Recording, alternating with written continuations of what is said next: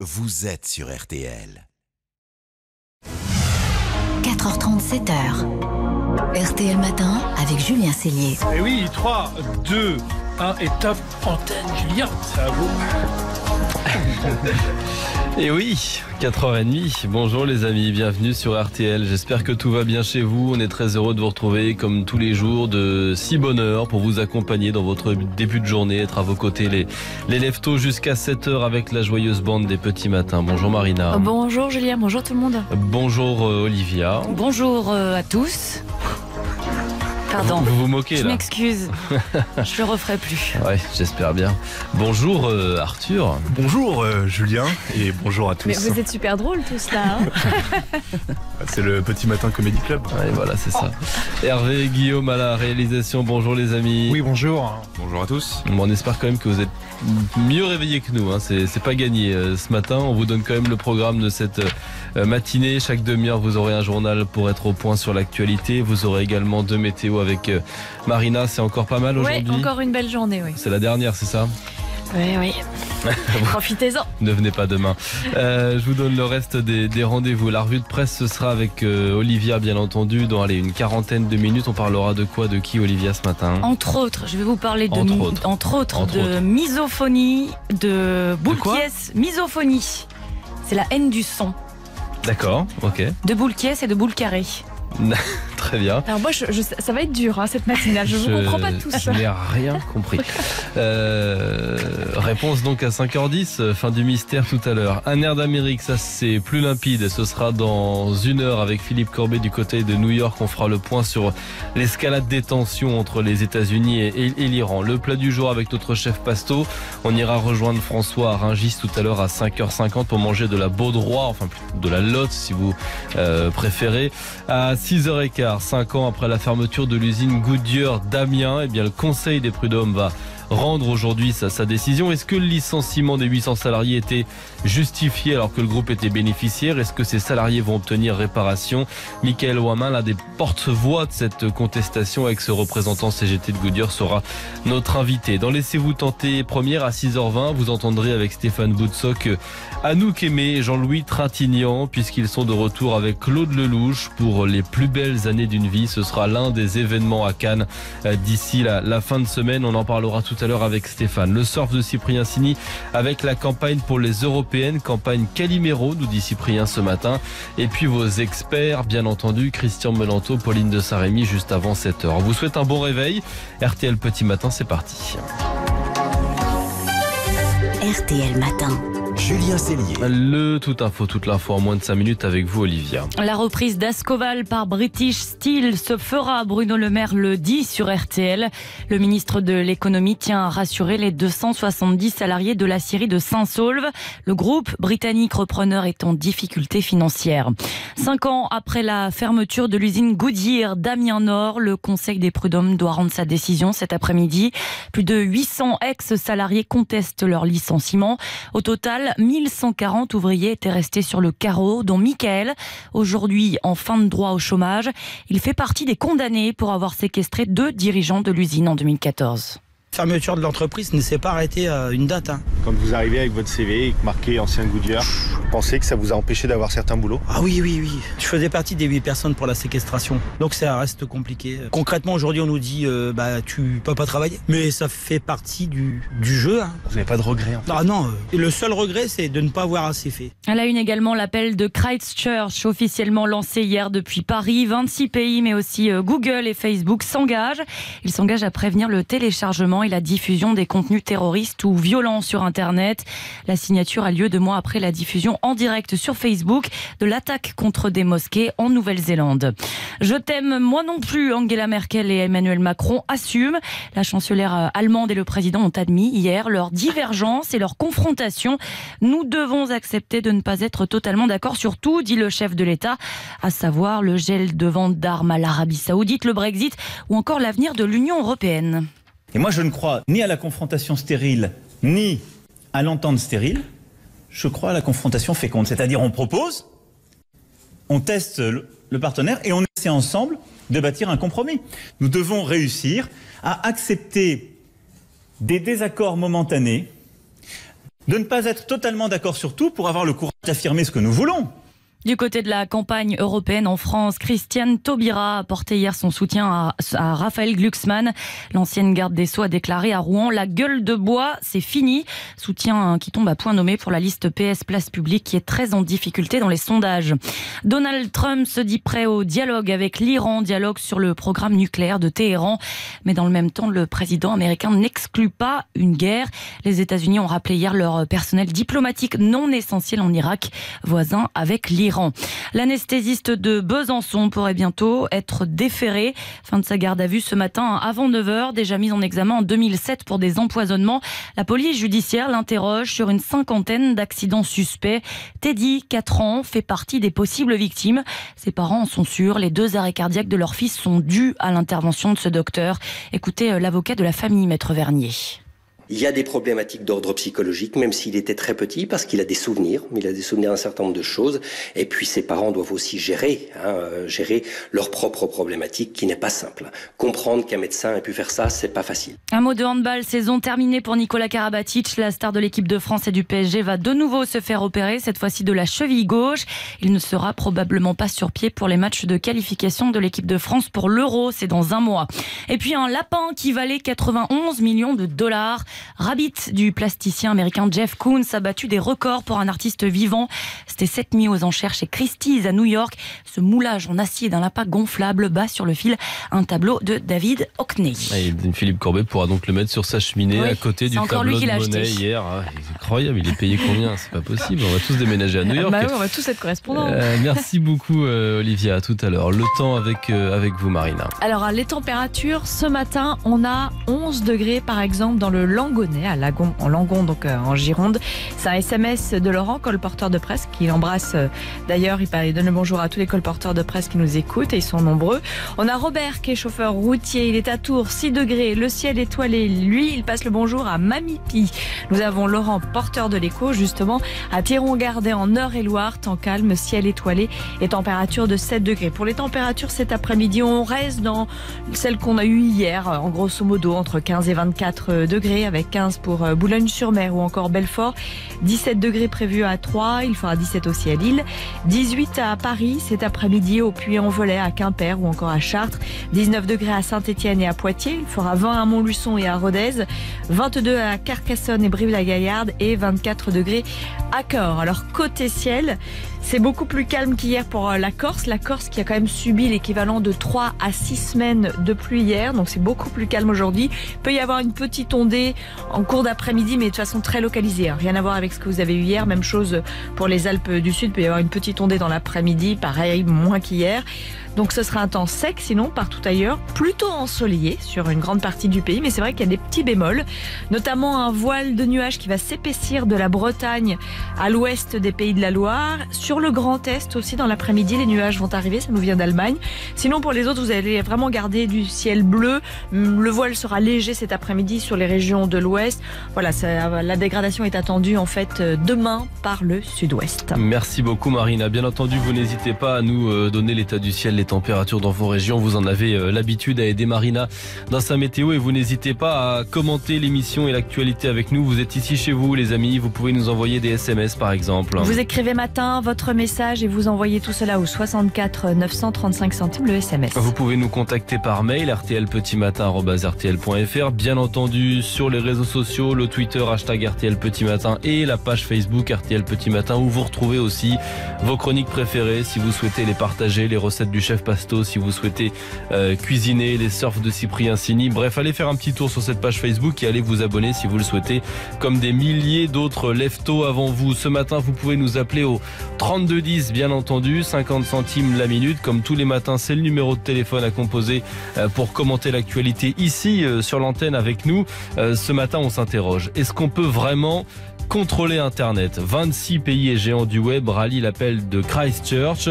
Euh, Facebook et Google s'engagent à prévenir le téléchargement de contenus terroristes sur Internet, mais aussi à stopper immédiatement la diffusion de tels contenus. Euh, cet appel contre la haine en ligne a été lancé hier par Emmanuel Macron, par surtout la première ministre néo-zélandaise deux mois après les, les attaques de mosquées dans son pays qui avaient été filmées en direct sur les réseaux sociaux.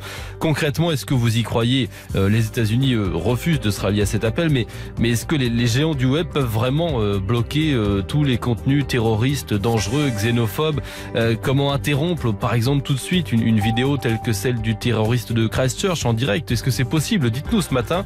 Est-ce que les réseaux sociaux sont, sont dépassés aujourd'hui? Est-ce que vous voyez, vous, passer des contenus euh, dangereux, polémiques, euh, xénophobes sur, sur vos pages? Est-ce que ça vous euh, agace? Est-ce que vous vous êtes retiré justement des réseaux sociaux? Est-ce qu'ils vous font peur? Et comment protégez-vous vos enfants puisque les ados sont tous désormais euh, sur les, les réseaux sociaux On en parle tous ensemble. Euh, au 3210, vous avez la parole. On ouvre le débat ce matin, bien entendu, sur, sur RTL. Il est 4 heures, passé de 40 minutes. Et si vous le voulez bien, on va se réveiller en musique avec Ava Max, Sweet but Psycho maintenant. RTL Matin. Oh, she's sweet but a psycho, a little bit psycho. At night she's screaming, I'm on my mind, my mind. She's hot but a psycho, so left but she's right though. At night she's screaming, I'm on my mind, my mind. She'll make you curse, but she a blessing. She'll rip your shirt within a second. You'll be coming back, back for seconds with your play.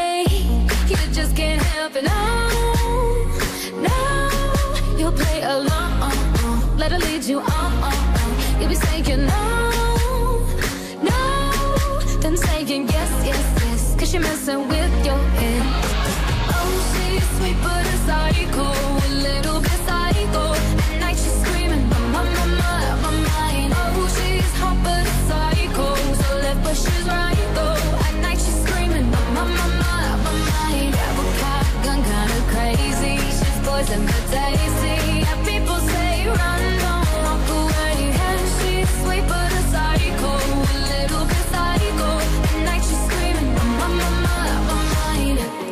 Someone say, don't drink her potions. She'll kiss your neck with no emotion.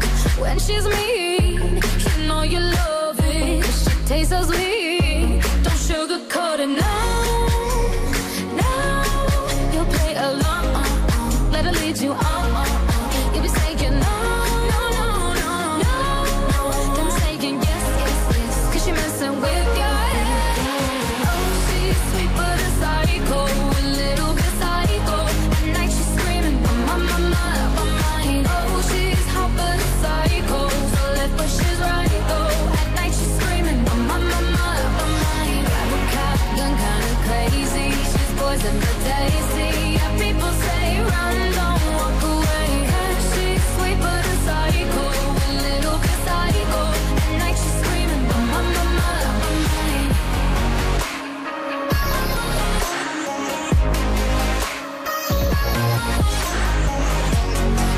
Like me.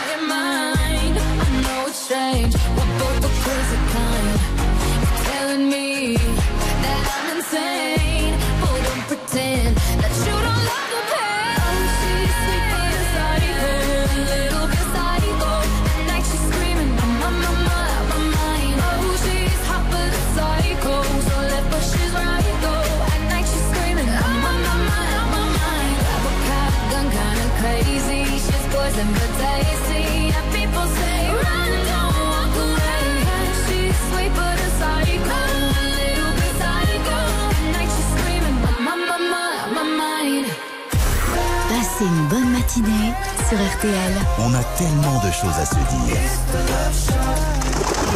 C'est notre planète sur RTL. Virginie Garin. C'est à vous Virginie, bonjour. Bonjour Julien, bonjour Marina, bonjour à tous. Bonjour Virginie. Vous évoquez ce matin une, une décision de justice assez euh, inédite. La ville du Canet, euh, sur la côte d'Azur, a été condamnée à, à indemniser un habitant car sa voiture, Virginie, a été écrasée par une branche de palmier. Oui, une palme est tombée sur la carrosserie. Il était garé dans une rue tranquille du Canet. Il a retrouvé sa voiture pleine de bosses et il a porté plainte. Parce que si cette palme est tombée, c'est que le palmier était malade. Comme de nombreux sur la côte d'Azur, ils sont attaqués par un insecte redoutable, le charançon rouge. Ces larves rongent les troncs de l'intérieur.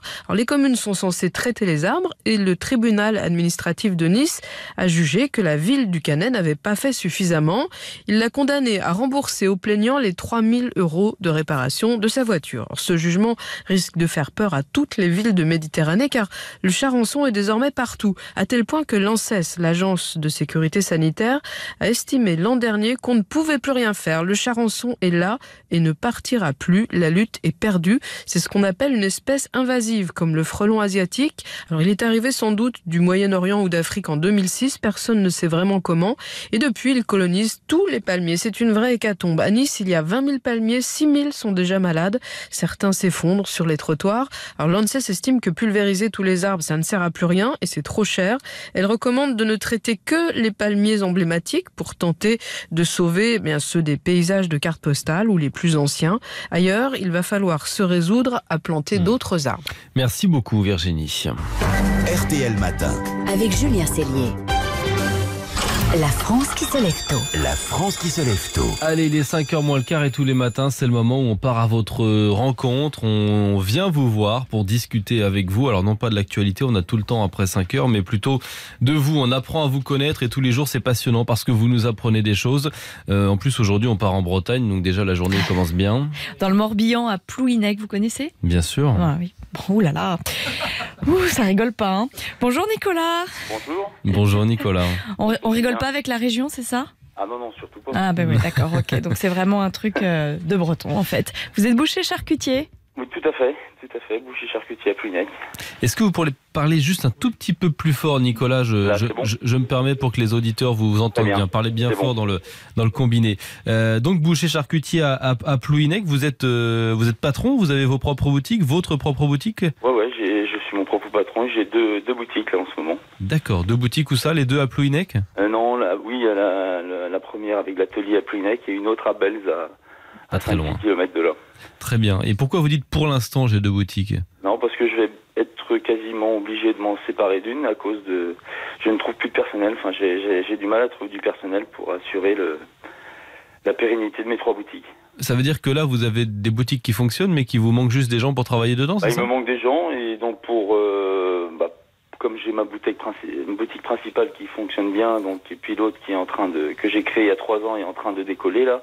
Donc comme il me manque du monde, je suis obligé de fermer une boutique pour pouvoir assurer les, les deux autres. Ah oui, c'est c'est fâcheux. Est-ce que c'est euh, vous êtes certain que ça va ça va fermer ou est-ce qu'il est encore temps de lancer un appel ici pour essayer de trouver des gens? Euh, non non non, là j'ai pris la décision de la fermer pour euh, pour pouvoir continuer tranquillement D'accord.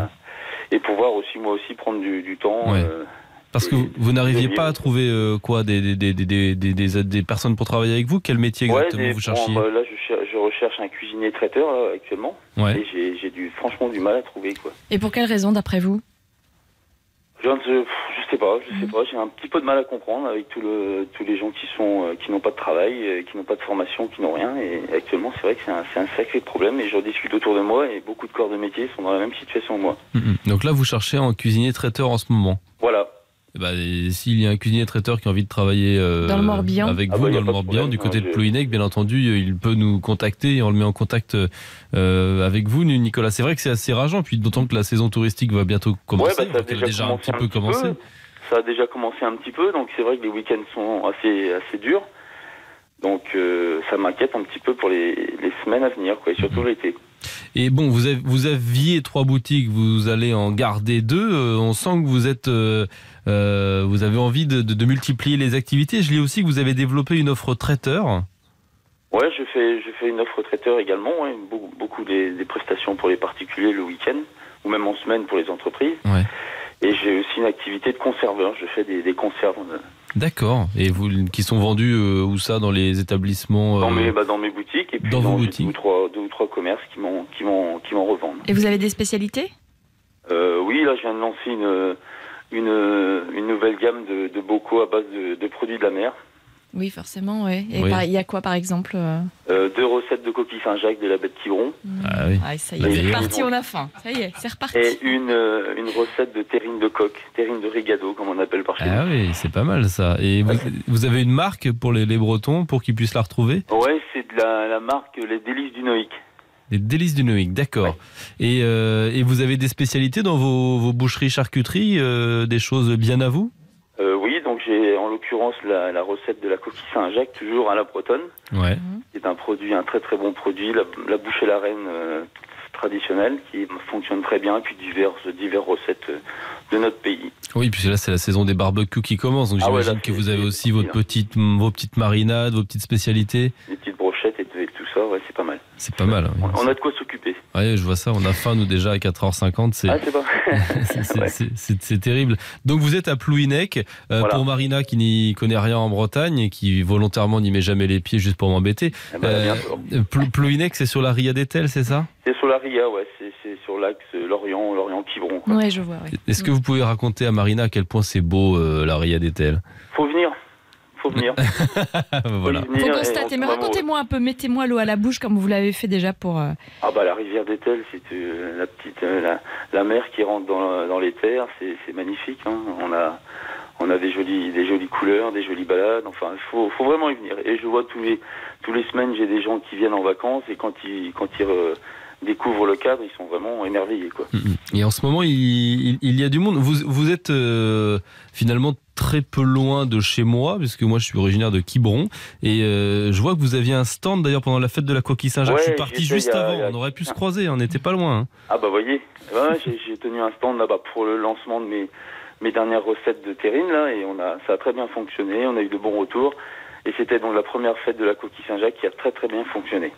Et euh, est-ce que vous, vous naviguez un petit peu, puisque vous nous parlez de coquille Saint-Jacques, de Ouais, coque euh, ouais. sur la Ria, ouais. Et alors racontez-nous, c'est quoi? C'est une passion C'est une soupape Ah, C'est une passion et c'est surtout une soupape également. Puis un- partager un moment avec mes enfants aussi également qui est, qui est, qui est ma foi fort sympathique. Est-ce que vous naviguez euh, pour vous balader, vous pêchez Oui, balader et puis un petit, un petit coup de pêche. Oui, quand un même. petit coup de pêche. Voilà. Là, c'est vrai que c'est intéressant ce que vous nous dites parce qu'il y a deux trois jours, on avait un auditeur qui lui naviguait alors sur euh, euh, des plans d'eau, mais dans, dans le Loiret, il nous disait c'est vraiment la, la, la soupape, c'est le moment euh, Ah qu'on ouais, attend le week-end ou euh, pendant lequel on pense à rien, quoi, un petit peu, quoi. Et puis ça permet de, vi- de, de vider la semaine et puis de redémarrer euh, l'esprit euh, tranquille et clair. Oui, parce que j'imagine que quand on a deux boutiques, une activité traiteur, sa propre marque de conserve, elles doivent être bien remplies, non les Ah, il y a semaines de quoi, ouais, il y a de quoi s'occuper, ouais. Et on dort bien le soir. Oui, je vois ça. Puis vous, couchez- vous vous levez tôt, surtout. Vous vous levez à quelle heure le matin? Oh, le 4h, 4h30. Et vous vous couchez, hein?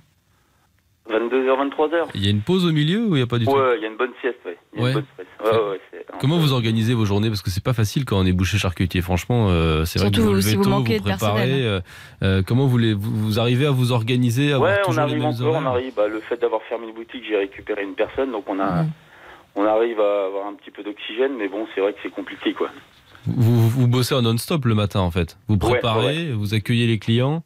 Euh, non, ça, c'est bon, j'ai, j'ai des, des personnes qui sont. Ça vous avez délégué, ouais. Ouais, ouais, mais bon, je suis en production, en organisation. euh, bah, je chapote, quoi. Ouais, ça veut dire que la sieste, elle est à quelle heure? 14h Ah oui, 14h, oui. Jusqu'à quelle heure C'est une petite sieste? Ah, 14h30. Ah, oui, d'accord. Mais comment vous faites pour tenir là? Parce qu'il n'y a pas beaucoup de sommeil là dans la journée quand même là. Ouais, enfin, c'est. Mais l'air de la mer, Julien, vous savez Ouais, bien. voilà, j'entends bien, mais c'est c'est pas simple. Et puis, y a pas, et puis vous pouvez pas prendre de vacances l'été parce que c'est la saison touristique. À l'été, non, non. Mais bon, après, on, s'en- on récupère après aussi. On peut- on n'est pas non plus esclave à ce point-là, quand même. On essaye de. se détacher un peu. De, de pause, quoi. Ouais. J'ai j'ai une question d'ailleurs, euh, parce qu'on a un auditeur qui s'appelle Louis-Marie, qui habite le Morbihan, qui m'envoie la température. Alors, je ne sais pas la prononciation du nom. Pleugriffette ou pleugriffé? Oh. Vous ne savez pas non plus? Ah non, je connais Alors, pas. ça, ça, c'est une colle. hein. Moi, non, moi, je dirais pleu-griffette parce qu'en breton euh, toutes les lettres se prononcent. mais, Louis-Marie, euh, si vous m'écoutez, envoyez-nous en fait euh, la confirmation. La confirmation. Et puis dites qu'on a raison, s'il vous plaît, parce que sinon, Vous êtes mal. avec Nicolas, on va passer pour des, pour des faux bretonnants. Merci Nicolas, c'était très sympa de vous discuter avec merci à vous. vous de m'avoir, euh, m'avoir appelé. C'était un plaisir de, de faire un petit tour dans le Morbihan, le plus beau département de France, du côté Ah, de, de Plouinec. Je confirme. On vous souhaite plein de belles choses, Nicolas. Et, On a un et- SMS de 84 autres départements là.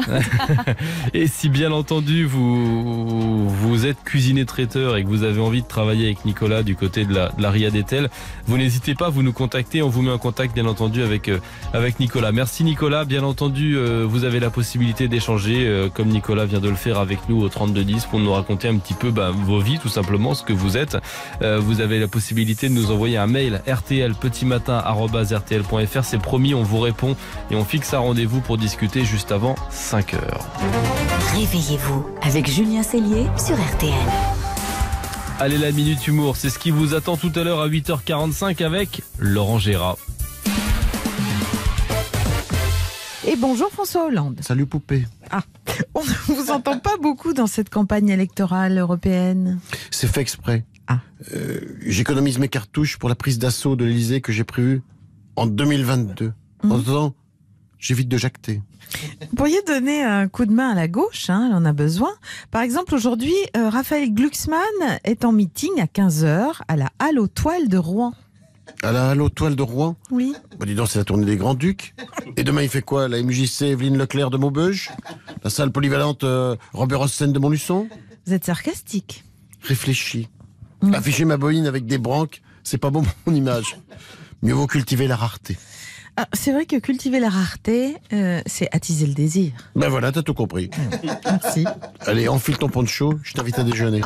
Et puis, puisque c'est toi, euh, je te sors le grand jeu. Buffet à volonté chez Fludge. Chouette. Je vais t'en donner, moi, du désir. Rendez-vous 8h45. Le Quintet avec vous, Dominique Cordier. Bonjour. Bonjour à tous. Euh, le Quintet a lieu ce soir à 20h15 sur l'hipporome de Longchamp. Il s'agit du prix de la place Vendôme.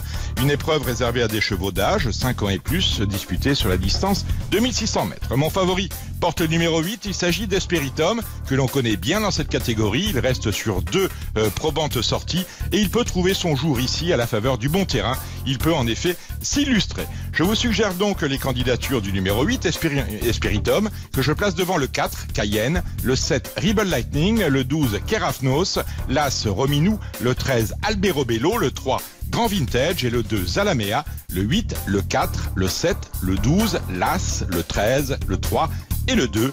Bonne chance à tous. Merci beaucoup Dominique, vos pronostics au 32-10, c'est sûr, on refait les courses.fr. Quid du temps ce matin? On a 8 degrés avec un ciel étoilé euh, à Bousbec, près de Lille, chez, chez Guy. Euh, C'est assez prometteur pour le reste de la journée. Oui, ce sera, ce sera agréable encore. Une journée au sec, assez ensoleillée. Il y a des endroits où il y aura plus de nuages qu'hier, mais euh, ça se passera sans pluie. On a un ciel étoilé là en ce moment dans l'Orne, à Gacé plus précisément, mais seulement 3 degrés. C'est Dominique qui souhaite une bonne route à Tonton David des Transports Le. Nous avons à Mâcon à Chacun côté. sa route, surtout. Chacun son chemin. Ah, c'est beau. Dans, vers Mâcon, on a un ciel étoilé, il fait frisquer. C'est vrai que là, on est entre 2 et 5 degrés. C'est un SMS de Ghislaine. Dans le nord des Deux-Sèvres, là, on a un ciel couvert et 7 degrés. C'est SMS de Michel. Et puis 2 degrés ce matin dans la campagne meusienne entre Verdun et Étain avec un ciel partiellement couvert. C'est euh, Fred qui nous envoie l'info. C'est vrai que par endroits, il y aura quelques passages nuageux. Alors ce sera sans pluie sur euh, le Grand Est notamment. Là, ce sont des nuages qui nous viennent euh, d'Allemagne. Et puis sur l'ouest du pays, le ciel se voile et le voile sera assez épais quand même de la Bretagne en allant vers l'ouest des pays de la Loire. Mais voilà, plus largement sur un petit tiers ouest du pays, il y aura un peu plus de passages nuageux qu'hier, mais ça restera sec. Pour la Corse et les Alpes du Sud, le temps s'est bien calmé par rapport à hier, mais il n'est pas exclu que dans l'après-midi, une petite ondée soit possible vraiment euh, de façon localisée, rien à voir avec les pluies que l'on a eues hier, notamment pour euh, la Corse. Sinon, partout ailleurs, ce sera du bleu, hein, les régions que j'ai pas citées, euh, rien à signaler. Le vent, le vent de nord-est qui est toujours présent, alors essentiellement sur le nord-ouest du pays. Vous faites très bien le vent. Ben, en tant que breton, c'est normal, puisqu'on aura du vent sur les côtes de la Bretagne, mais pas que, côte de la Normandie jusqu'à la côte d'Opale, avec des rafales entre 40 et 50 km par heure. Les températures cet après-midi, 15 à Langres, 16 à Metz, 17 à Lille, 18 à Paris, Dijon. Il fera 19 degrés à Amberieu-en-Bugey, 20 à Lyon, on attend 20 aussi à La Rochelle, et il fera 24. C'est sur le sud-ouest qu'on aura les températures les plus douces, 24 à Bordeaux ou encore à Montauban. Merci Marina, belle journée à tous en ce jeudi 16 mai. Les amis, courage, on y est presque, encore deux réveils avant le, le week-end. Aujourd'hui, on fête les 68 ans du couturier Christian Lacroix, les 66 ans de l'un des James Bond, Pierce Brosnan.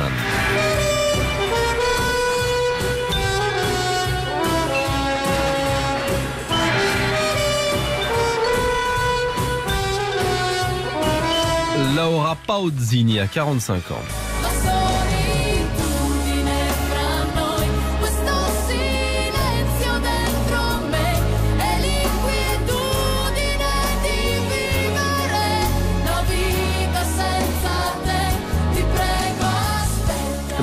Crawford euh, a 37 ans.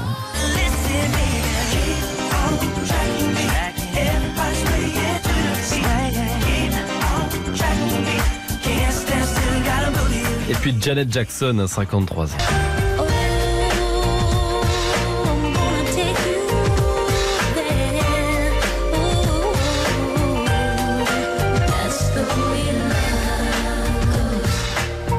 Nous sommes ensemble jusqu'à 7h les amis dans les petits matins sur RTL pour vous réveiller en douceur avec le sourire, éveiller votre curiosité et bien entendu vous informer.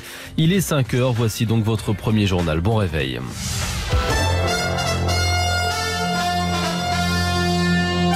Et à la une, l'anesthésiste de Besançon, toujours interrogé sur une cinquantaine d'affaires, a-t-il volontairement provoqué des arrêts cardiaques? Sa garde à vue continue. À suivre aussi, crise de couple franco-allemand et le niveau inquiétant de nos nappes phréatiques, justement de météo d'ici 5h30. Euh, 23 degrés cet après-midi à Nîmes, dans le Gard, sous un ciel tout bleu. RTL Matin. L'anesthésiste de Besançon, sans doute bientôt face au juge, sa garde à vue se poursuit. Ce médecin est soupçonné d'avoir provoqué des arrêts cardiaques pour apparaître ensuite tel un sauveur. Une cinquantaine d'incidents sont étudiés, dont potentiellement 15 décès. Le praticien est déjà mis en examen pour 7 empoisonnements présumés, dont 2 décès. Et il est en ce moment notamment interrogé sur le cas d'un enfant de 4 ans, Teddy, opéré en 2016 et qui a fait deux arrêts cardiaques. Il a survécu, mais en garde des séquelles. Guillaume Chiez. Oui, les parents de Teddy en ont aujourd'hui la certitude. Les deux arrêts cardiaques que leur fils a subis euh, sont dus à l'intervention du docteur Péchier. Février 2016, Teddy, 4 ans, est hospitalisé euh, pour une simple opération des amygdales, mais celle-ci tourne mal. Le cœur de Teddy s'arrête euh, de battre à deux reprises. Et à deux reprises, c'est le docteur Péchier qui ranime leur fils. Pas de malformation, pas d'allergie. Il dépose plainte contre X. Aujourd'hui, Teddy n'a pas de séquelles physiques, mais souffre de troubles psychologiques. Jean-Michel Vernier est avocat de la famille du petit garçon. Il y a des problématiques d'ordre psychologique, même s'il était très petit, parce qu'il a des souvenirs. Il a des souvenirs d'un certain nombre de choses. Et puis ses parents doivent aussi gérer, hein, euh, gérer leurs propres problématiques, qui n'est pas simple. Comprendre qu'un médecin ait pu faire ça, c'est pas facile. En début de semaine, les parents de Teddy ont été euh, convoqués par la police judiciaire. Ils ont maintenu leur plainte en nommant directement le docteur Péchier.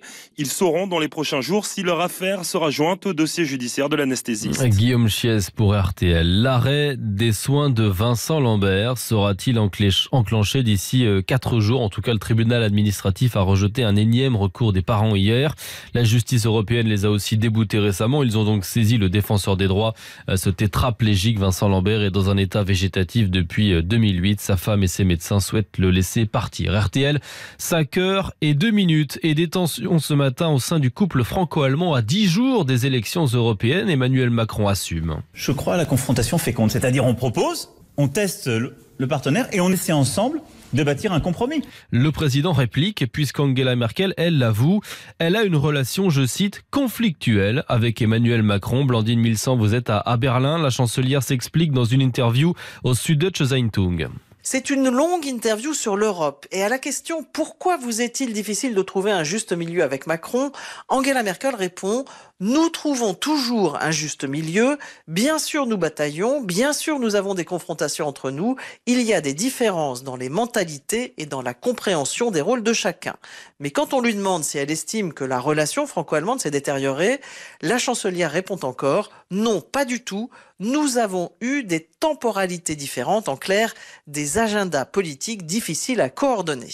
Angela Merkel tient donc ici à peu près le même langage qu'Emmanuel Macron. Elle ne cherche pas à nier les nombreux désaccords entre Paris et Berlin, mais estime que c'est justement ce qui permet d'avancer. Cela a toujours été comme ça, précise-t-elle encore. Le président Macron n'est pas le premier président français avec qui je travaille. Et de fait, après Jacques Chirac, Nicolas Sarkozy et François Hollande, Emmanuel Macron est son quatrième président. Blandine Milsan à Berlin pour RTL et à 7h45, le ministre de l'économie d'Angela Merkel, Peter Altmaier, sera l'invité d'Elisabeth Martichous sur RTL. Une interview donc à, à 10 jours des Européennes. Nous poursuivons ce matin à cette heure-ci notre série sur les gagnants, les perdants de l'Europe. Les routiers français sont-ils de grands perdants? En 20 ans, ils ont euh, vu 80% de leur part de marché à l'international disparaître. D'après le secteur, en cause la concurrence de chauffeurs étrangers qui coûtent moins cher. Pour l'heure, le transport est exclu euh, du statut de travailleur détaché. Tiens, reportage avec Amar, patron d'une flotte de 10 camions qui accuse l'ouverture des frontières. Marie Mollet. Regarde dans le rétro en bas. Regarde comment elles brillent les roues. Genre t'allais. Un 44 tonnes étincelant. C'est ça le kiff d'un chauffeur quand ça brille. Direction le port du Havre pour charger un conteneur de bouteilles. Amar, lui, a 20 ans de volant et son Europe, c'est celle des plaques d'immatriculation. Il a vu la concurrence, les camions des Balkans arriver peu à peu sur les routes, des chauffeurs qui travaillent dans des conditions très dures. Il n'y a qu'à ouvrir les yeux, dit-il, sur les aires de repos. Compte combien t'envoies là? La lituanien, la polonais, la slovaque. Regarde dans quelles conditions ils vivent, les mecs. Ils sont posés sur un parking. Tu vois, lui, il a pas de couchage, il a rien du tout. Et tu vois le linge qui est en train de sécher devant. C'est parce qu'ils rentrent pas chez eux. Ils ont pas les moyens de se la payer, la nuit d'hôtel. Leurs frais à eux, c'est pas les mêmes que nous. Ils sont sous-payés, ils sont exploités. Et ce qui me met en colère là-dedans, c'est que nous, on ne peut plus être concurrentiel là-dedans. C'est impossible. Impossible de s'aligner sur des salaires 2, 3, parfois 4 fois moins chers et un code du travail plus ou moins souple d'un pays à l'autre. On n'a plus de contrat parce qu'on est trop cher. C'est victime de l'Union Européenne. Faut appeler un chat un chat. L'Union Européenne, d'accord, ok, mais harmonisé pour tout le monde. Roumains, Polonais, euh, ils viennent en France, il n'y a pas de problème. Mais au même tarif, tout le monde a la même enseigne. Sinon, rien. Et impensable aujourd'hui de faire de l'international. Les tarifs d'Amar sont trop chers. Dommage, dit-il. Il avait choisi la route pour voir du pays. Et justement, Marie, pour lutter contre la concurrence déloyale, les règles sont en train d'être réformées. Oui, après deux ans de négociations acharnées, les pays membres viennent enfin de tomber d'accord pour harmoniser les conditions de travail de tous les routiers. Le repos hebdomadaire devra être pris à l'hôtel et non plus dans le camion. Les chauffeurs devront rentrer chez eux toutes les quatre semaines au maximum. Et puis, il y a le nerf de la guerre, la question des salaires. Là aussi, il y a des avancées puisque les routiers seront soumis au statut de travailleurs détachés. Vous savez, la règle à travail égal, salaire égal, mais sous certaines conditions seulement. Donc, ce n'est pas encore suffisant pour certains parlementaires et syndicats. Marie Mollet pour RTL. RTL 5h et 6 minutes. 26 pays et géants du net rallient l'appel de Christchurch. Les États-Unis refusent. Mais Facebook et Google, par exemple, s'engagent à prévenir le téléchargement de contenus terroristes sur Internet, aussi à, à stopper immédiatement la diffusion de tels contenus. Euh, Cet appel contre la haine en ligne, il a été lancé hier par Emmanuel Macron et surtout par la première ministre néo-zélandaise, deux mois après les attaques de mosquées filmées dans son pays en direct sur les, les réseaux sociaux. Concrètement, est-ce que vous y croyez? Est-ce que les géants du web peuvent vraiment bloquer les, les contenus euh, dangereux? Est-ce que les réseaux sociaux aujourd'hui sont, sont dépassés? On, on s'interroge avec vous.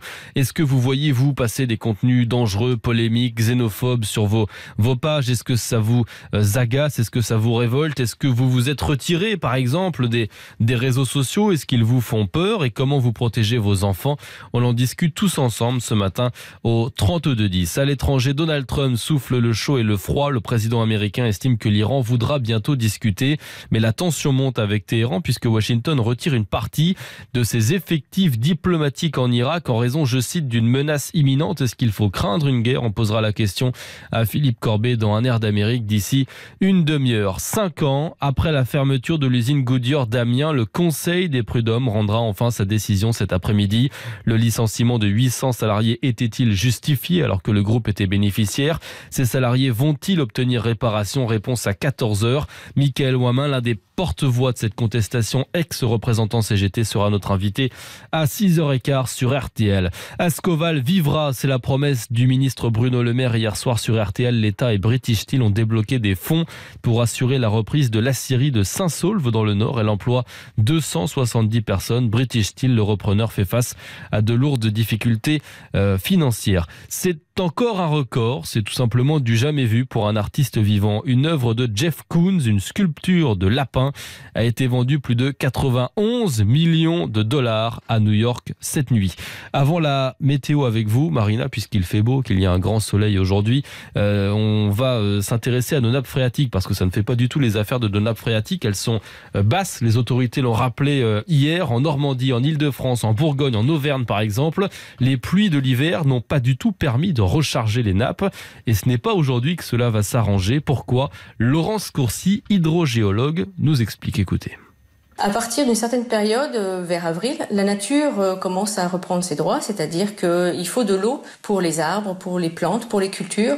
Et à ce moment-là, la pluie, elle va plus pouvoir traverser le sol. En fait, elle va soit s'évaporer intégralement, soit être absorbée en fait par les plantes. Donc, de manière en fait assez exceptionnelle, on a pu avoir des recharges lorsqu'il y a des périodes vraiment pluvieuses sur euh, plusieurs jours, vers mai, même jusqu'à juin. Pour le moment, ce n'est pas le cas, les pluies ne sont pas suffisantes. Donc il y a effectivement des secteurs, le nord de la vallée du Rhône, un peu dans le nord de la France, le sud de la Loire, où les niveaux étant bas maintenant, il n'y aura pas de recharge, donc euh, on peut avoir euh, localement des restrictions d'eau pendant l'été. Éclairage recueilli par Virginie Garin pour RTL. Nos nappes, ce, ce ne sont pas aujourd'hui hein, qu'elles vont, qu'elles vont pouvoir se recharger. hein. Non, le temps sera vraiment euh, sec sur le pays. Peut-être euh, une ou deux ondées possibles dans l'après-midi, mais de façon localisée vers les Alpes du Sud ou encore euh, la Corse, mais rien à voir avec la pluie d'hier. Donc vraiment un temps sec, plutôt agréable. Alors le soleil dominera sur de nombreuses régions, mais c'est vrai que pour certaines régions, ce sera un petit peu plus voilé que les jours précédents. Ce sera le cas sur la façade ouest du pays, un petit voile, sauf de la Bretagne à la Vendée où là le voile sera quand même plus épais, avec du vent de nord-est hein, sur le nord-ouest euh, du pays. On aura aussi des passages nuageux sur la région Grand Est. Et puis pour les autres, ce sera plutôt euh, ensoleillé hein, de la Normandie à l'île de France en allant vers la Méditerranée. Du très beau temps et des températures entre 15 et 24 degrés cet après-midi avec 17 à Lille, 18 à Paris, 20 degrés au Mans et à Nantes ainsi qu'à Lyon, 22 à Biarritz.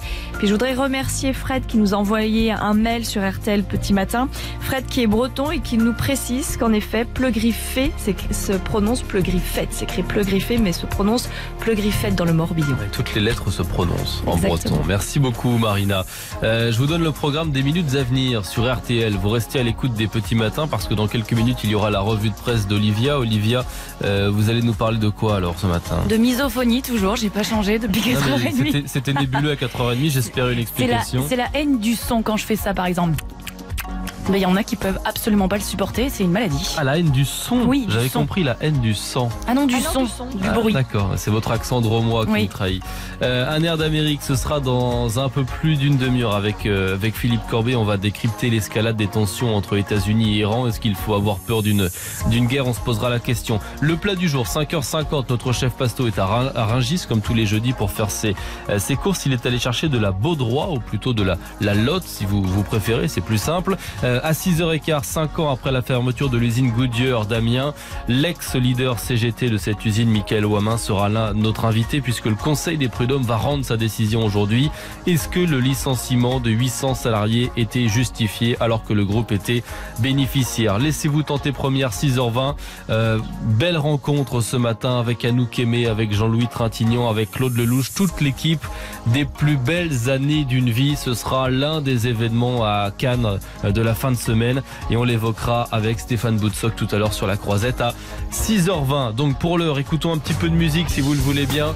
C'est la playlist des petits matins. C'est avec vous, Arthur, et un titre que j'aime beaucoup, moi personnellement, ce matin. Eh ben, nous sommes deux, Julien. J'espère que Bah, j'espère euh, plus quatre. nombreux. Allez, 3, 4.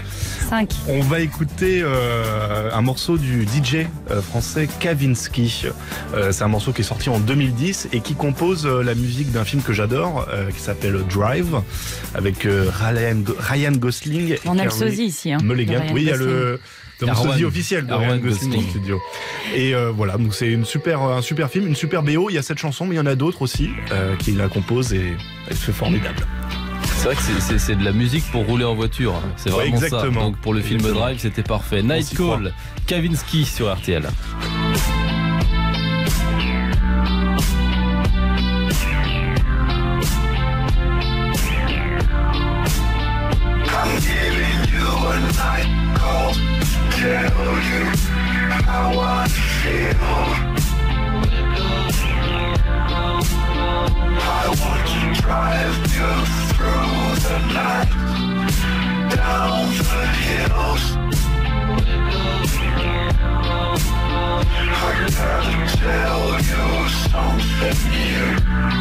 Don't want to hear. I'm gonna show you where it's dark, but have no fear.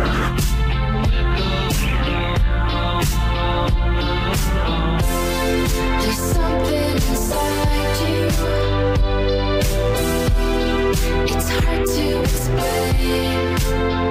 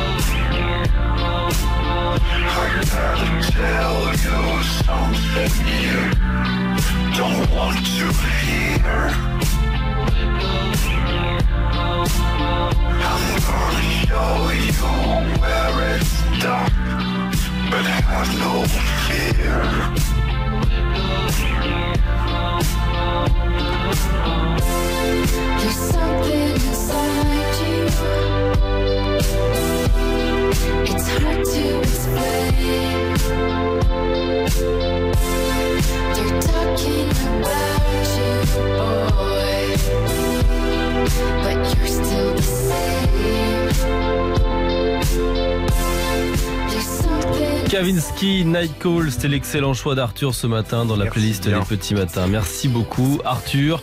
On revient dans allez, 40 secondes pour la revue de presse avec Olivia sur RTL. FR.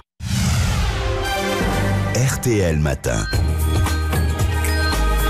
Allez, votre revue de presse avec Olivia, des boules dans votre revue de presse ce matin. Une boule puante de fin de campagne d'abord, selon les mots de Jean-Luc Mélenchon. Andrea Cotarac est votre portrait du jour. Andrea Cotarac, c'est cet élu de la France insoumise qui vient d'annoncer officiellement son soutien au Rassemblement national. Pourtant, ce Français d'origine serbe a été activiste contre l'extrême droite dans sa jeunesse. En 2012, il est même arrêté pour une bagarre avec des personnes d'extrême droite. C'est que c'est ce que nous explique le Parisien ce matin. Trois ans plus tard, il devient candidat la France insoumise aux élections régionales en Auvergne-Rhône-Alpes, puis élu. Et je lis cette phrase de Jean-Luc Mélenchon dans Lyon Capitale à ce moment-là. Quand je vois des jeunes comme Andrea, je me dis que la France insoumise a réussi. Ce n'est pas la première fois que Cotarac fait parler de lui. Le mois dernier, il était en Crimée pour un forum organisé par Vladimir Poutine.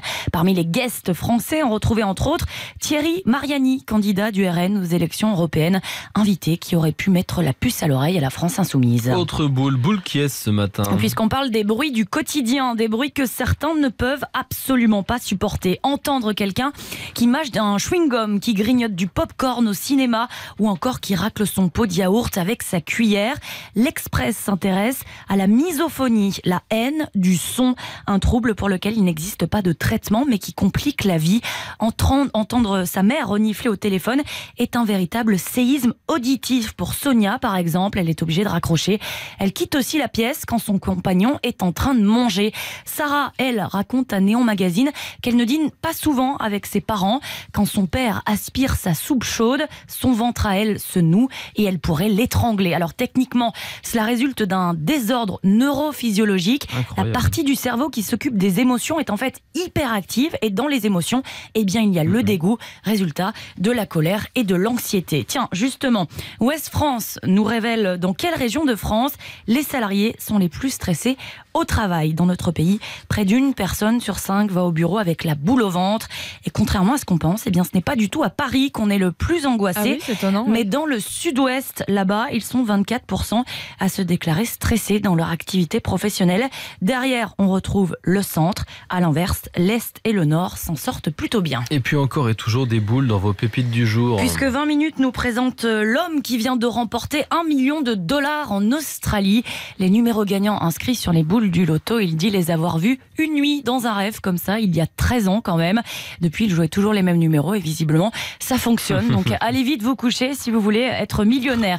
Et puis, euh, merci Vosges Matin, puisque j'apprends que samedi aura lieu le premier concours de boules carrées de la région Grand Est. C'est-à-dire Personnellement, je pensais, euh, comme vous, que c'était une première mondiale. En fait, c'est comme la pétanque, mais avec des cubes carrés en bois. c'est Alors du coup, j'ai fait des recherches. En fait, ça vient du département des Hautes-Alpes. On a inventé ça là-bas parce que beaucoup de villages sont en pente. Donc quand c'est carré, ça évite de retrouver sa boule de pétanque Ah, en bas de la colline. C'est ingénieux. Tout simplement. Merci beaucoup Olivia. On vous retrouve dans 10 minutes pour le journal de 5h30. À tout à l'heure. RTL Matin. En attendant, je vous rappelle l'essentiel de l'actualité à 5h20. Euh, Ces tensions, tout d'abord au sein du couple franco-allemand à 10 jours des élections européennes. Emmanuel Macron assume une confrontation féconde pour bâtir un compromis. Angela Merkel, elle l'avoue dans une interview, elle a une relation, je cite, conflictuelle avec notre président. 26 pays et géants du web rallient l'appel de Christchurch, mais les États-Unis euh, refusent. Facebook et Google s'engagent à prévenir le téléchargement de contenus terroristes sur Internet. Cet appel contre la haine en ligne a été lancé hier à, Paris, deux mois après les attaques de mosquées filmées sur les réseaux sociaux en Nouvelle-Zélande. Cinq ans après la fermeture de l'usine Goodyear d'Amiens, le Conseil des prud'hommes rendra sa décision cet après-midi. Est-ce que le licenciement de 800 salariés était justifié? Est-ce qu'ils vont obtenir réparation? Michael Wamin, l'un des porte-voix de la contestation, sera notre invité à 6h15. Et puis, une œuvre de Jeff Koons, un lapin géant, a été vendu plus de 91 millions de dollars à New York cette nuit aux enchères. C'est du jamais vu pour un artiste vivant. Vous vivez l'actualité Venez la commenter sur RTL. On va revenir avec vous sur cet appel de Christchurch ce matin au, au 3210. Concrètement, est-ce que vous y croyez aux promesses des géants du web? Est-ce que c'est possible de bloquer les contenus dangereux? Comment interrompre, par exemple, une, vidéo telle que celle euh, en direct de la, de la tuerie en, Nouvelle-Zélande? Euh, Dites-nous ce matin, est-ce que vous avez confiance dans les, les géants du web? Et surtout, est-ce que les réseaux sociaux sont dépassés et vous inquiètent? On va poser la question à Nicolas. Nicolas qui nous a appelé de Lille. Bonjour Nicolas. Bonjour Marina, bonjour Julien. Bonjour Nicolas, on vous écoute. Ben, en fait, moi, ce que je disais à Arthur euh, tout à l'heure, c'est que euh, ma conviction, c'est que le- la technologie et notamment les opérateurs, euh, euh, les gros opérateurs du web vont pouvoir euh, évidemment euh, euh, anticiper un certain nombre de choses avec les algorithmes que l'on connaît euh, et les signalements, et donc du coup euh, se dire. Ok, euh, ça c'est un contenu qui n'est pas euh, acceptable et donc du coup oui, euh, on le euh, on, on le bannit de, euh, de de la diffusion publique. Au-delà de ça, je ne pense pas, même en resserrant les mailles du filet au maximum, que euh, on pourra tout contrôler et qu'on aura besoin euh, de la communauté, c'est-à-dire des gens pour signaler, pour continuer de, de signalement, de dire ça c'est un contenu que l'on ne veut pas voir, que l'on ne peut pas voir euh, pour des raisons effectivement évidentes euh, euh, de, de- du, contenu. Euh, et c'est là où, euh, au-delà de ce que vont pouvoir faire l'ensemble des opérateurs euh, internationaux sur le sujet, on a besoin de continuer de faire de la pédagogie, notamment auprès des, des enfants et des adolescents, pour moi, pour leur expliquer que un contenu euh, euh, viral n'est pas forcément un contenu acceptable. Ça veut dire, selon vous, qu'il ne faut euh, pas forcément les, les priver de réseaux sociaux, même si ça nous effraie de les voir euh, potentiellement accéder à de, à de, à de tels contenus, mais surtout les éduquer en amont. Oui, moi je pense qu'il faut faire de la pédagogie et effectivement aller leur expliquer que voilà, c'est pas parce qu'une vidéo a été vue un million de fois qu'elle est forcément euh, euh, à, à, à voir euh, et que euh, si, ça, si c'est un contenu choquant, il faut surtout pas hésiter euh, à, le, à, le, à le signaler et plutôt euh, et, non, et non pas euh, à, à le partager parce que parce que le copain du copain l'a, fait. Euh, donc bra- bien oui sur cette initiative, euh, mais euh, mais euh, attention à ne pas tomber dans euh, euh, vous ne vous en faites pas. euh, nous Facebook, Twitter, Mm, Google, euh, on, on- on va pouvoir gérer euh, parce que c'est à mon sens euh, pas pas vrai. Nous avons tous un rôle à jouer. Merci beaucoup Nicolas pour votre témoignage ce matin au 3210 depuis depuis Lille. Euh, Est-ce que les réseaux sociaux sont dépassés? Est-ce qu'ils peuvent vraiment euh, mettre fin au, au contenu euh, terroriste, xénophobe sur sur Internet? On en parle avec vous ce matin au 3210. Dites-nous si vous êtes effrayé par les réseaux sociaux et comment vous protégez vos enfants face à ce à ces potentiels contenus qui qui, qui traînent en ligne. Euh, Vous avez la parole ce matin au 3210. Dans un instant, vos grosses têtes bien entendu, l'horoscope de Christine Haas, le soleil avec Marina. Nous accueillons Caroline Alexis. Bonjour Caroline. Bonjour Julien, bonjour Marina, bonjour tout le monde. On se retrouve dans 30 secondes Caroline. Restez là. Je ne bouge pas. Faire.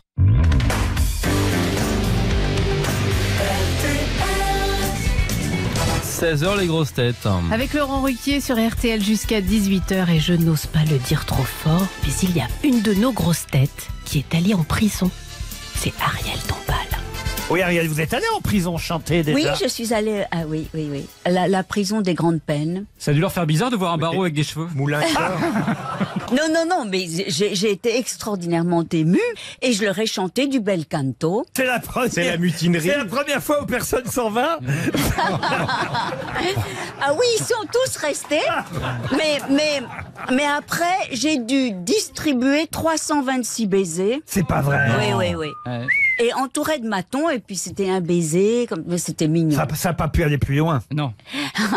non, mais ce qui se passe. Non. C'est la faute au maton. Vous êtes allé vous faire rire en prison, Bernard? Non, j'aimerais, mais je ne connais pas le, le film. Eh ben, fais-toi pour, arrêter. euh, j'aimerais, oui, non mais j'aimerais, franchement j'aimerais. Puis en J'aimerais. plus, ils doivent pas être difficiles, quoi, tu vois.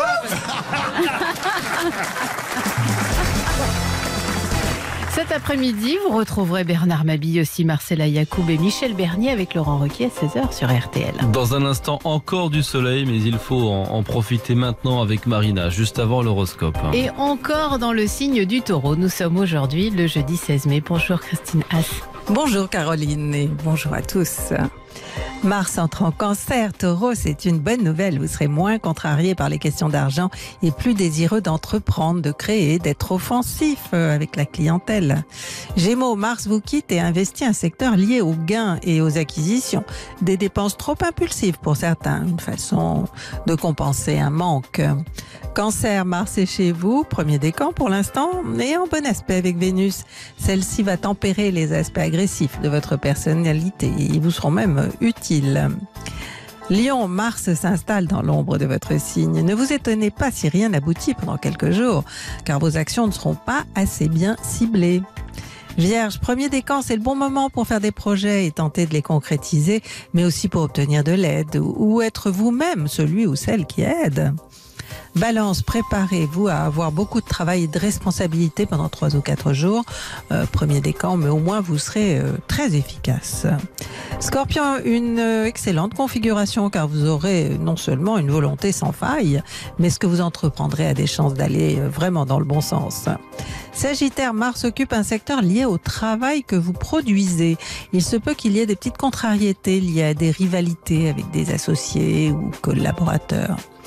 Capricorne, Mars s'oppose à vous à présent. Premier décan, il faut mettre de l'eau dans votre vin, autant dans vos relations professionnelles que privées. Verseau, il est question de travail avec Mars en cancer ou de faire travailler quelqu'un, l'un de vos enfants par exemple, qui va bientôt passer euh, le bac. Poisson, Mars et Vénus sont euh, toutes deux en harmonie avec vous, euh, premier décan, et votre créativité est à son maximum. Ce que vous ferez ne pourra que plaire autour de vous. Bélier, vous êtes déjà au parfum, premier décan, vous serez susceptible, irritable, très exigeant, autant avec vous-même qu'avec les autres d'ailleurs. Bonne journée Bonne journée, vous vous posez des questions sur votre vie amoureuse. L'équipe de Christine Haas vous répond 01 78 41 45 35. Le temps, Marina, c'est encore bien aujourd'hui. 7 degrés là en ce moment à Bourges où le ciel est dégagé, nous dit Eric. Ciel étoilé à Corbigny dans la Nièvre, SMS de Pascal. Là, il ne fait que 3 degrés. Donc euh, ce ciel dégagé va donner ensuite euh, du soleil sur une grande partie du pays où vous aurez encore une très très belle journée. Alors quand même pour certaines régions, il y aura un petit voile nuageux hein, pour euh, l'ouest du pays et ce voile sera assez épais de la Bretagne en allant vers l'ouest des pays de la Loire avec euh, du vent sur le quart nord-ouest du pays jusqu'aux côtes de la Manche, rafale à 40-50 km par heure, un vent de nord-est, donc toujours un petit peu frais. Des nuages aussi attendus sur le Grand Est. Mais voilà, entre le Grand Est et puis la façade ouest, vous aurez un ciel bleu. Peut-être que dans l'après-midi, de façon très localisée, une ondée est possible sur les Alpes du Sud et la Corse, mais par rapport à hier, sur euh, la Provence-Alpes-Côte d'Azur et la Corse, vous allez quand même retrouver un temps beaucoup mieux, plus agréable, avec des températures entre 15 et 24 degrés. Ça ne bouge pas trop par rapport à hier. On aura 16 à Cherbourg, 17 à Lille, 18 à Paris, 18 aussi à Alençon et Dijon. On attend 19 degrés à Nevers, Clermont-Ferrand et Rennes. Il fera 20 à Montpellier, à, Thon, à Lyon et à Toulon. Ajaccio aussi, 21 pour Grenoble, 24 à Tarbes et à Auch. Merci beaucoup, Marina. J'ai mélangé Lyon et Toulon, Ouais, ça, nous a fait un ton. hein. Ton, c'est beau. Ça nous arrive tous. Merci beaucoup, Marina. Bon réveil, les amis. Vous écoutez RTL, 5h30.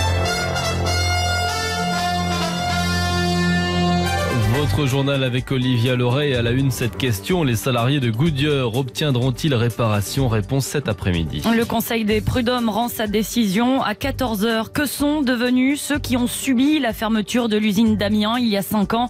La réponse dès le début de ce journal. À suivre également le couple franco-allemand en pleine turbulence. Emmanuel Macron assume.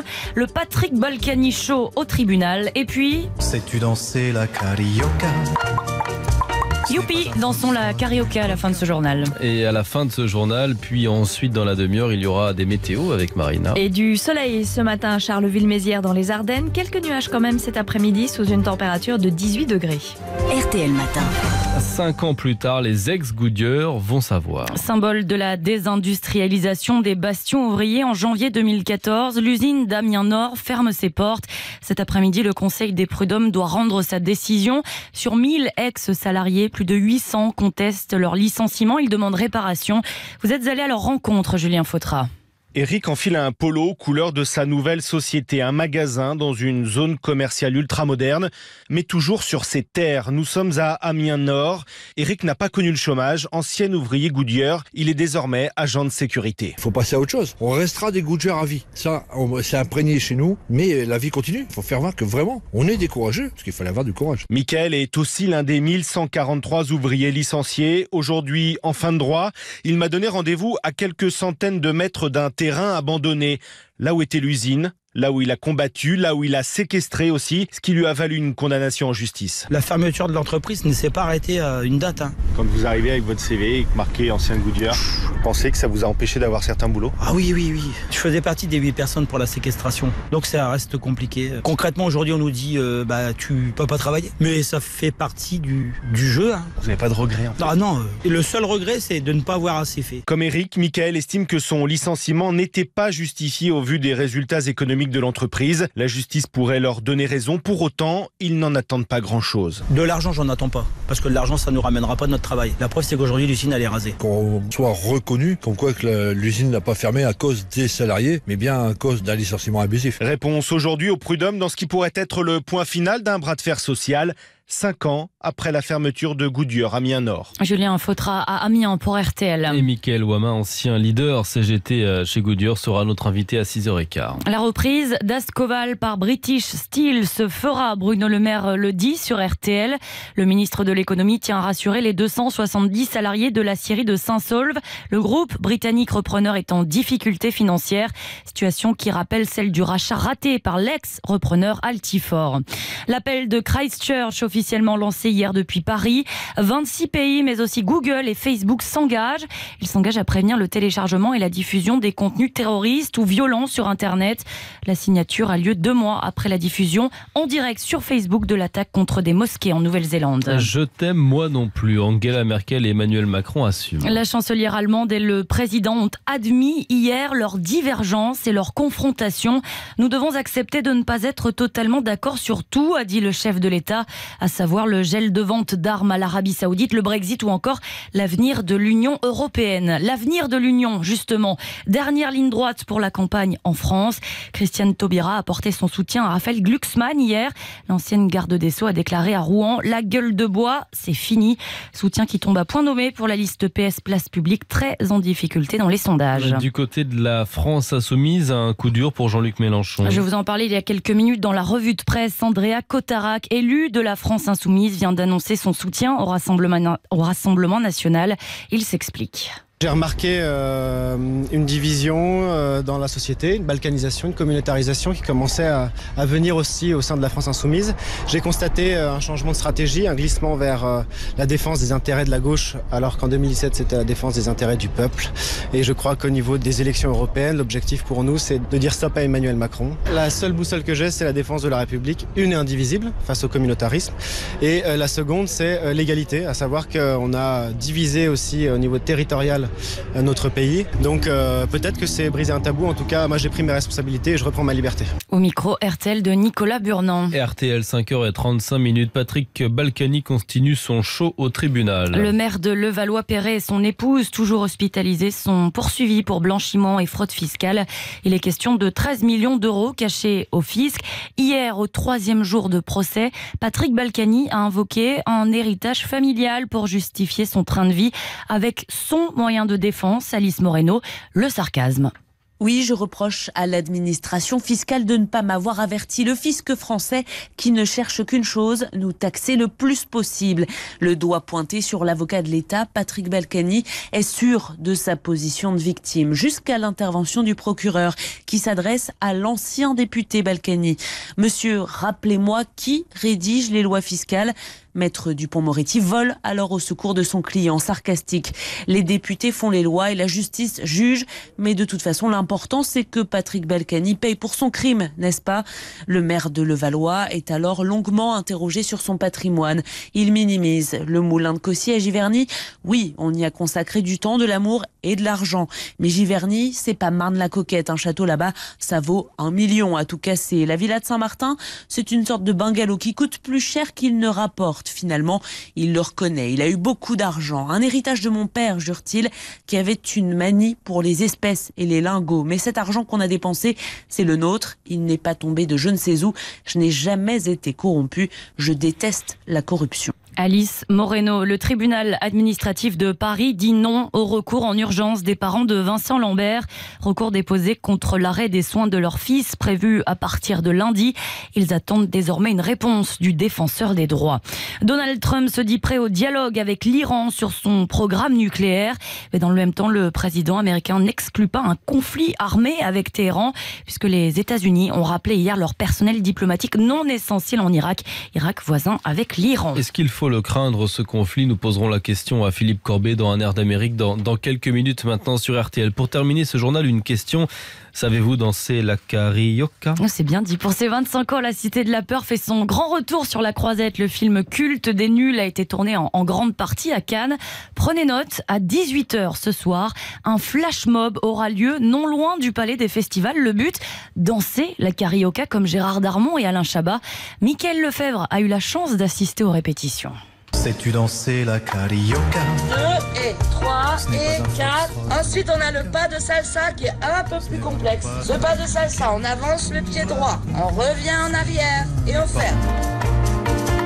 Ce n'est pas un tango ou un cha-cha. C'est pas les pas qui sont difficiles, c'est plus l'enchaînement des pas.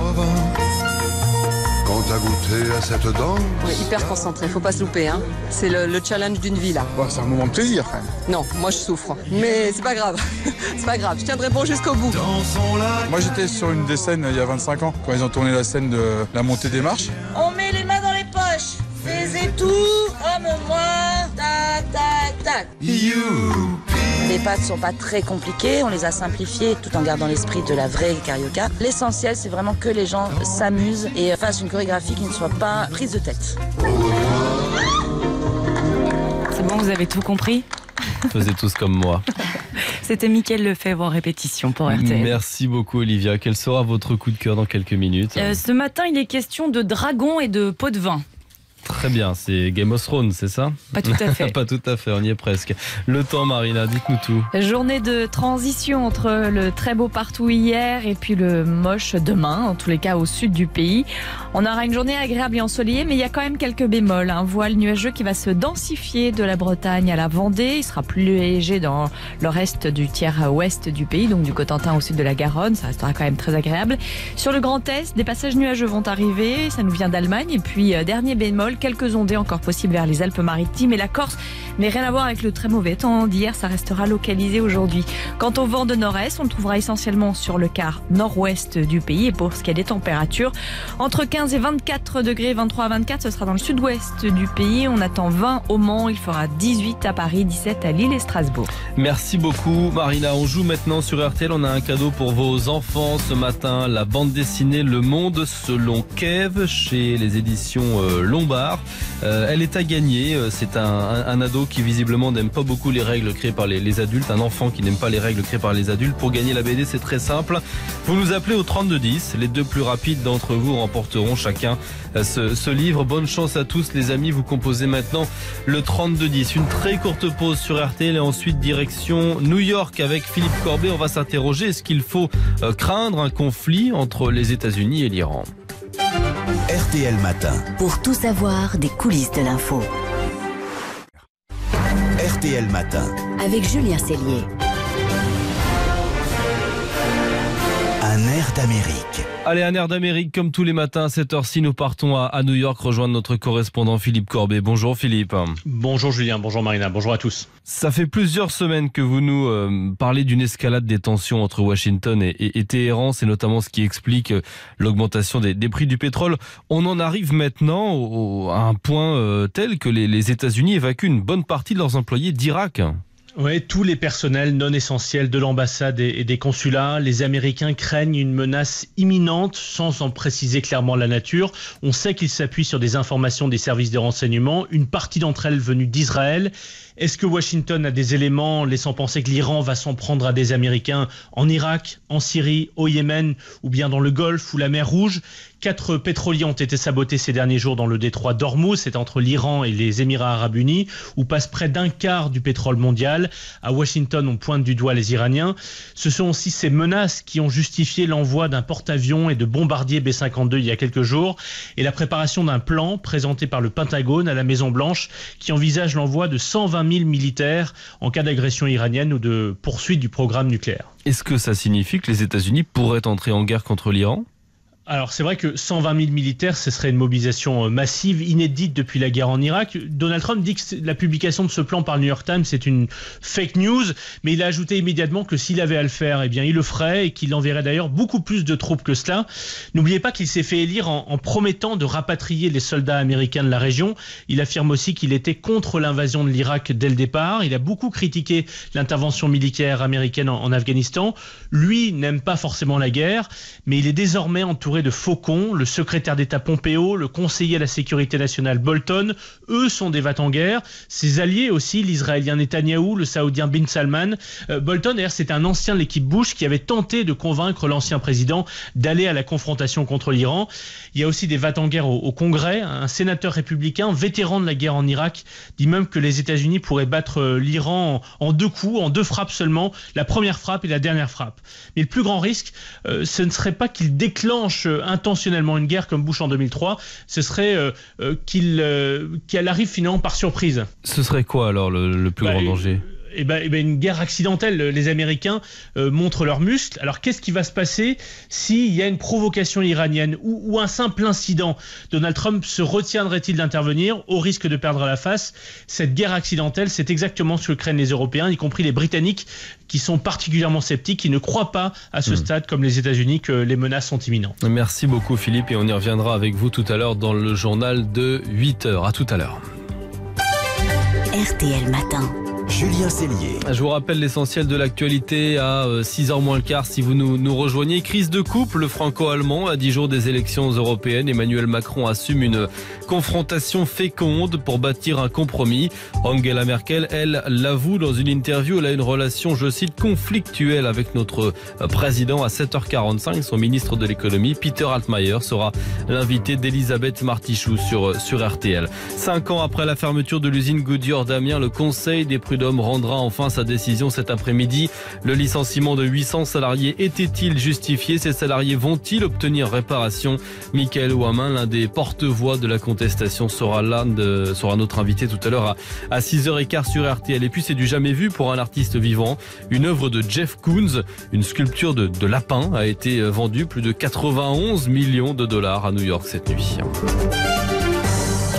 Votre avis compte, venez l'exprimer sur RTL. Au 32 Et ce matin, on s'interroge avec vous au 3210. Est-ce qu'on peut contrôler Internet? 26 pays géants du net rallient l'appel de, de Christchurch. Facebook et Google s'engagent à prévenir le téléchargement de contenus terroristes sur le web, mais aussi ils s'engagent à, à, stopper immédiatement la diffusion de tels contenus. Euh, cet appel, il a été lancé hier par Emmanuel Macron et surtout par la première ministre néo-zélandaise, deux mois après les attaques de mosquées filmées en direct dans son pays sur les, les réseaux sociaux. Est-ce que vous y croyez? Euh, Est-ce que les géants du web peuvent, peuvent vraiment bloquer les contenus dangereux? Est-ce que vous êtes euh, effrayé par ce que sont devenus les réseaux sociaux? Est-ce que vous voyez passer, vous, des contenus dangereux, des contenus xénophobes au jour le jour? Comment vous protégez vos enfants? On, on s'interroge ce matin avec vous au 3210 et on en débat ensemble. On va en débattre avec Gaël qui nous appelle du Val d'Oise. Bonjour Gaël. Bonjour à toute l'équipe. Bonjour Gaël, on vous écoute. Alors pour moi, bon, arrêter en direct une, euh, une diffusion d'images violentes, ça me paraît un peu compliqué parce qu'il faudrait qu'il y ait des centaines et des centaines de personnes qui analysent le contenu ou même des logiciels. Donc euh, en direct, c'est peut-être pas évident. Par contre, oui, dès qu'on, dès qu'un, dès que c'est signalé comme violent ou malsain, oui, il faut intervenir assez vite.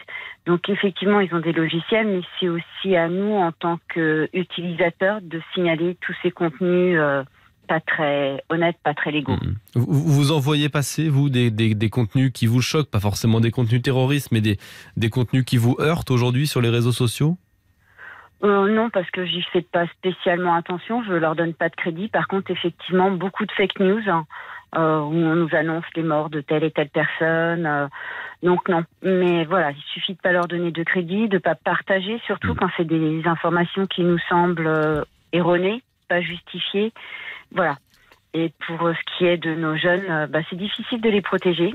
Et j'ai le cas de mon adolescente à la fac qui, euh, à un moment, trouvait que ses camarades étaient un peu dissipés et devaient jouer à la guerre sur leur téléphone. Et en fait, elle a appris effectivement par la suite qu'ils regardaient les images euh, en direct euh, de, la- de cette tuerie.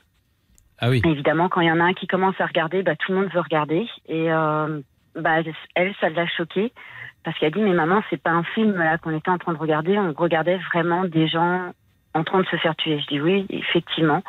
Et euh, leur donner du crédit comme ça, peut-être beaucoup de dialogue avec nos adolescents, leur dire que là, c'est pas de la fiction, c'est de la réalité.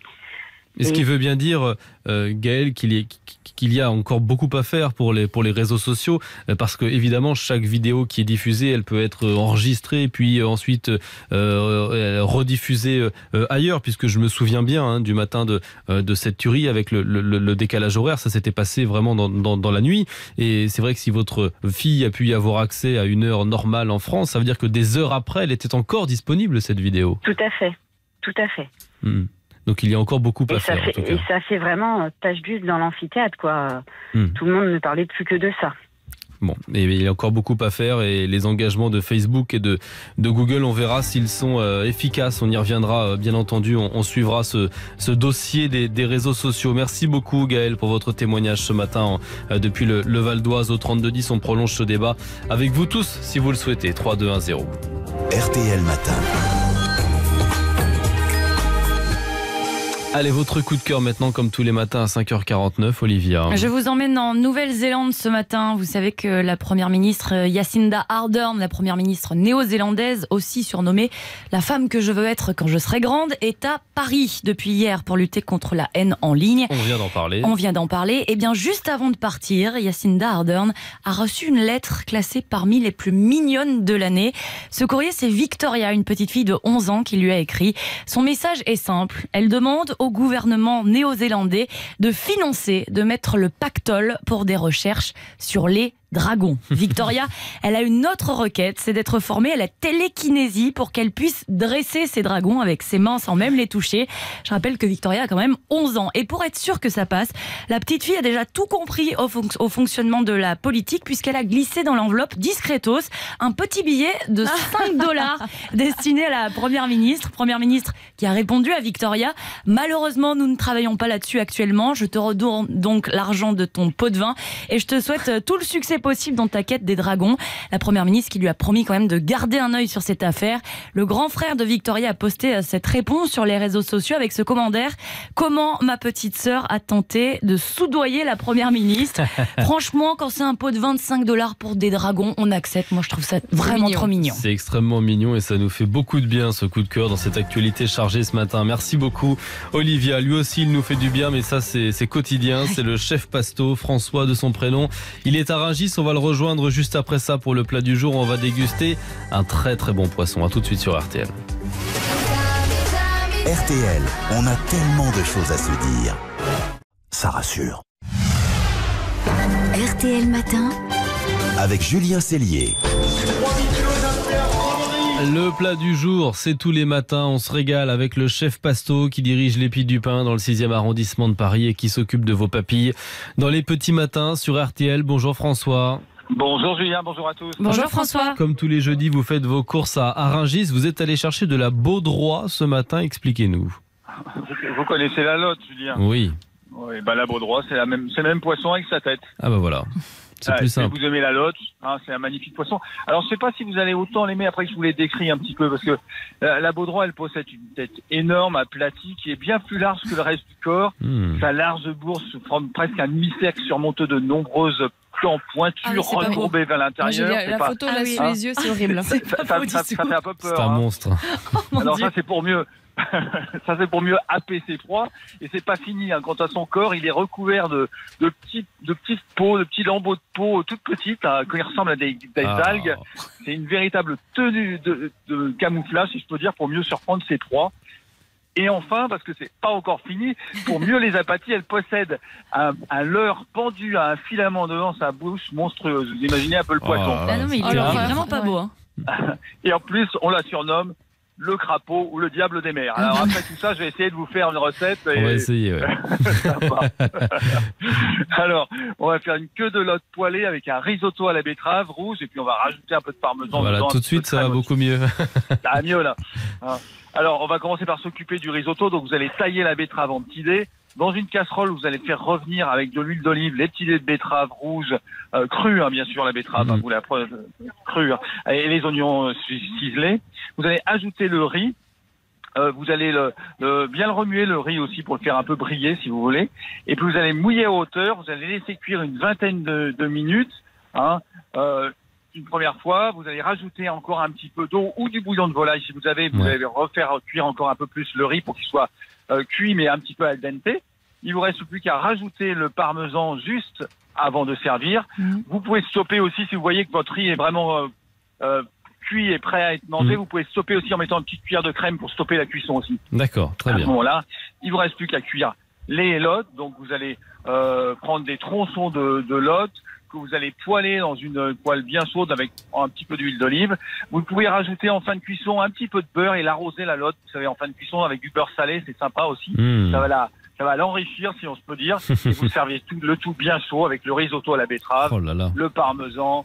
Euh, vous pouvez rajouter les copeaux dessus encore de parmesan. si Quel voulez bonheur. encore plus de parmesan. Voilà. Plus de parmesan, c'est bien ça. Ouais, Comme... toujours plus, il n'y en a jamais assez.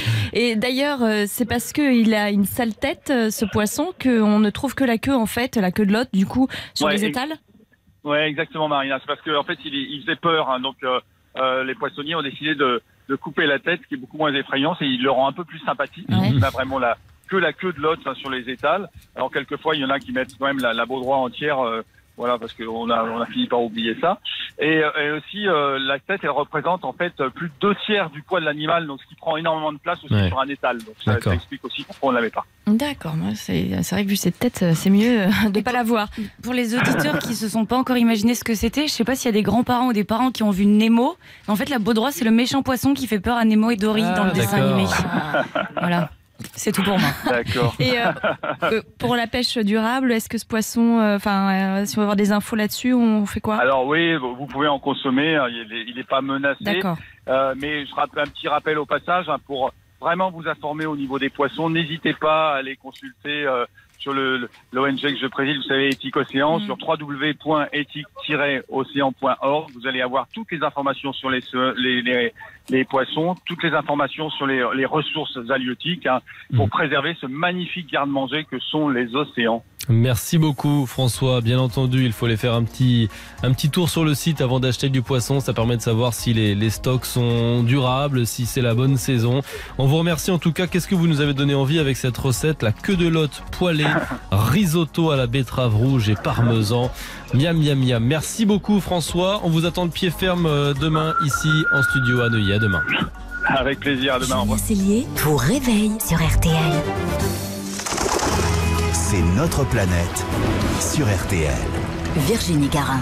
C'est à vous Virginie, bonjour. Bonjour Julien, bonjour Marina, bonjour à tous. Bonjour Virginie. Vous évoquez ce matin une, une décision de justice assez euh, inédite. La ville du Canet, euh, sur la côte d'Azur, a été condamnée à, à indemniser un habitant car sa voiture, Virginie, a été écrasée par une branche de palmier.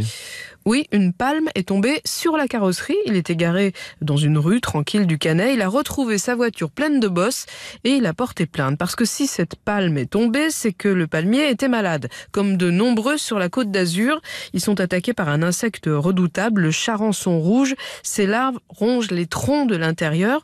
Les communes sont censées traiter les arbres et le tribunal administratif de Nice a jugé que la ville du Canet n'avait pas fait suffisamment. Il l'a condamné à rembourser aux plaignants les les 3000 euros de réparation de sa voiture. Ce jugement risque de faire peur à toutes les villes de Méditerranée car le charançon est désormais partout, à tel point que l'ANSES, l'agence de sécurité sanitaire, a estimé l'an dernier qu'on ne pouvait plus rien faire. Le charançon est là et ne partira plus. La lutte est perdue. C'est ce qu'on appelle une espèce invasive, comme le frelon asiatique. Il est arrivé sans doute du Moyen-Orient ou d'Afrique en 2006. Personne ne sait vraiment comment. Et depuis, il colonise tous les palmiers. C'est une vraie hécatombe. À Nice, il y a 20 000 palmiers. 6 000 sont déjà malades. Certains s'effondrent sur les trottoirs. Alors, l'ANSES estime que pulvériser tous les arbres, ça ne sert à plus rien et c'est trop cher. Elle recommande de ne traiter que les palmiers emblématiques pour tenter de sauver eh bien, ceux des paysages de cartes postales ou les plus anciens. Ailleurs, il va falloir se résoudre à planter d'autres arbres. Merci beaucoup Virginie. Le temps, Marina, c'est encore sympathique Mm, aujourd'hui. mm. Il y aura beaucoup de, de soleil.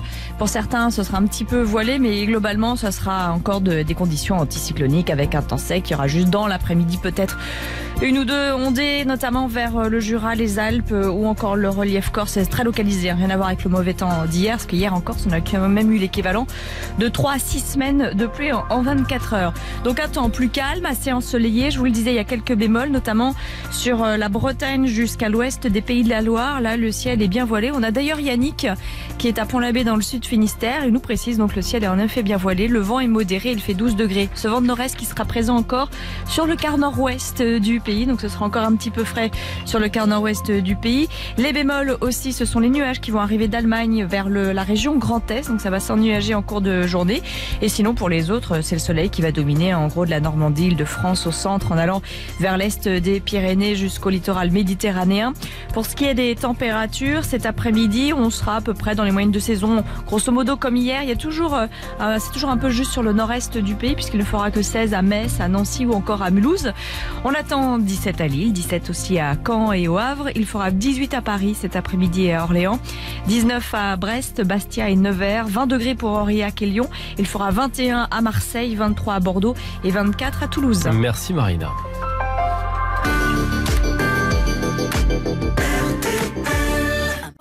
Allez, très bon réveil, RTL, il est 6h. Le journal avec Jérôme Chapuis. Bonjour Jérôme. Bonjour Julien, bonjour à tous. Un enfant de 4 ans pourrait figurer parmi les victimes de l'anesthésiste de Besançon. Il a survécu à deux arrêts cardiaques. La garde à vue du médecin soupçonné d'empoisonnement prend fin ce matin. Christi- Christiane Taubira en renfort. L'ex-ministre de la Justice, icône de la gauche, est venu soutenir la liste de Raphaël Glucksmann qui flirte avec les 5% à 10 jours des européennes.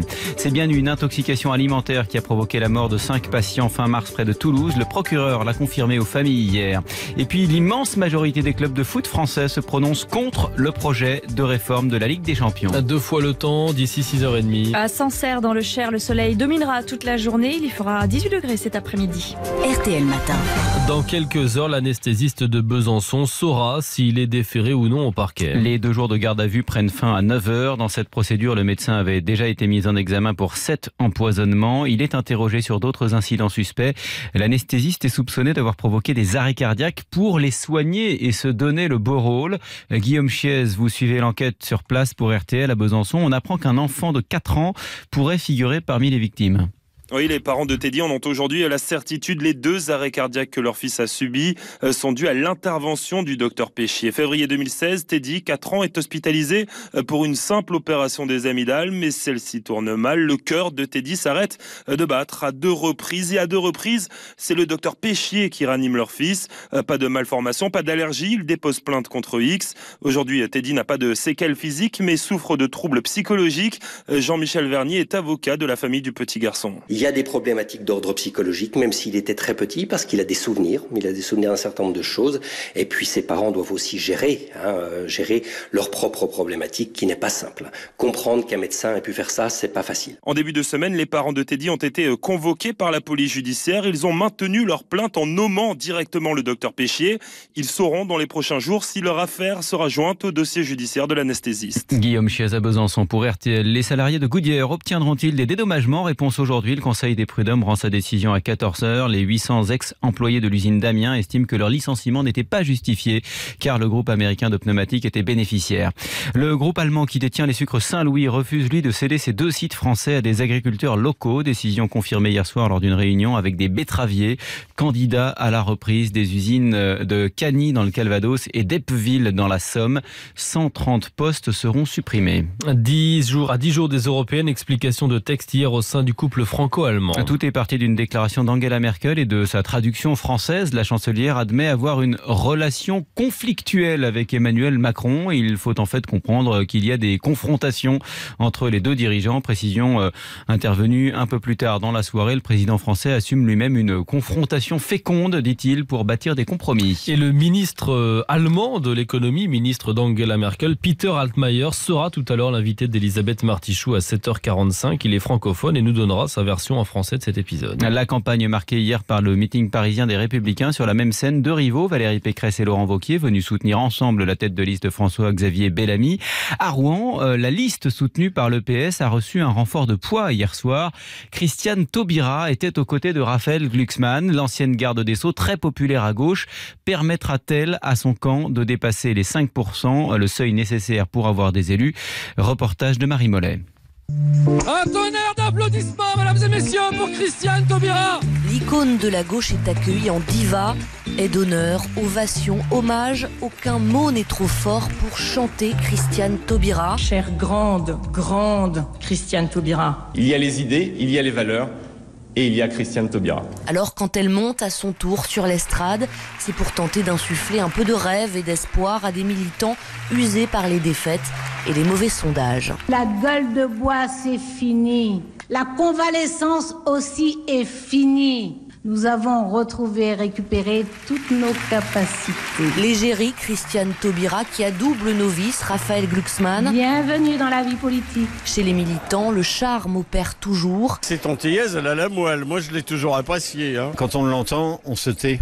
On l'écoute. Mais beaucoup le disent, les personnalités de la trempe de Taubira sont trop rares. Glucksmann, moi je le sens pas du tout. Il représente pas le PS. Il, il représente euh, lui.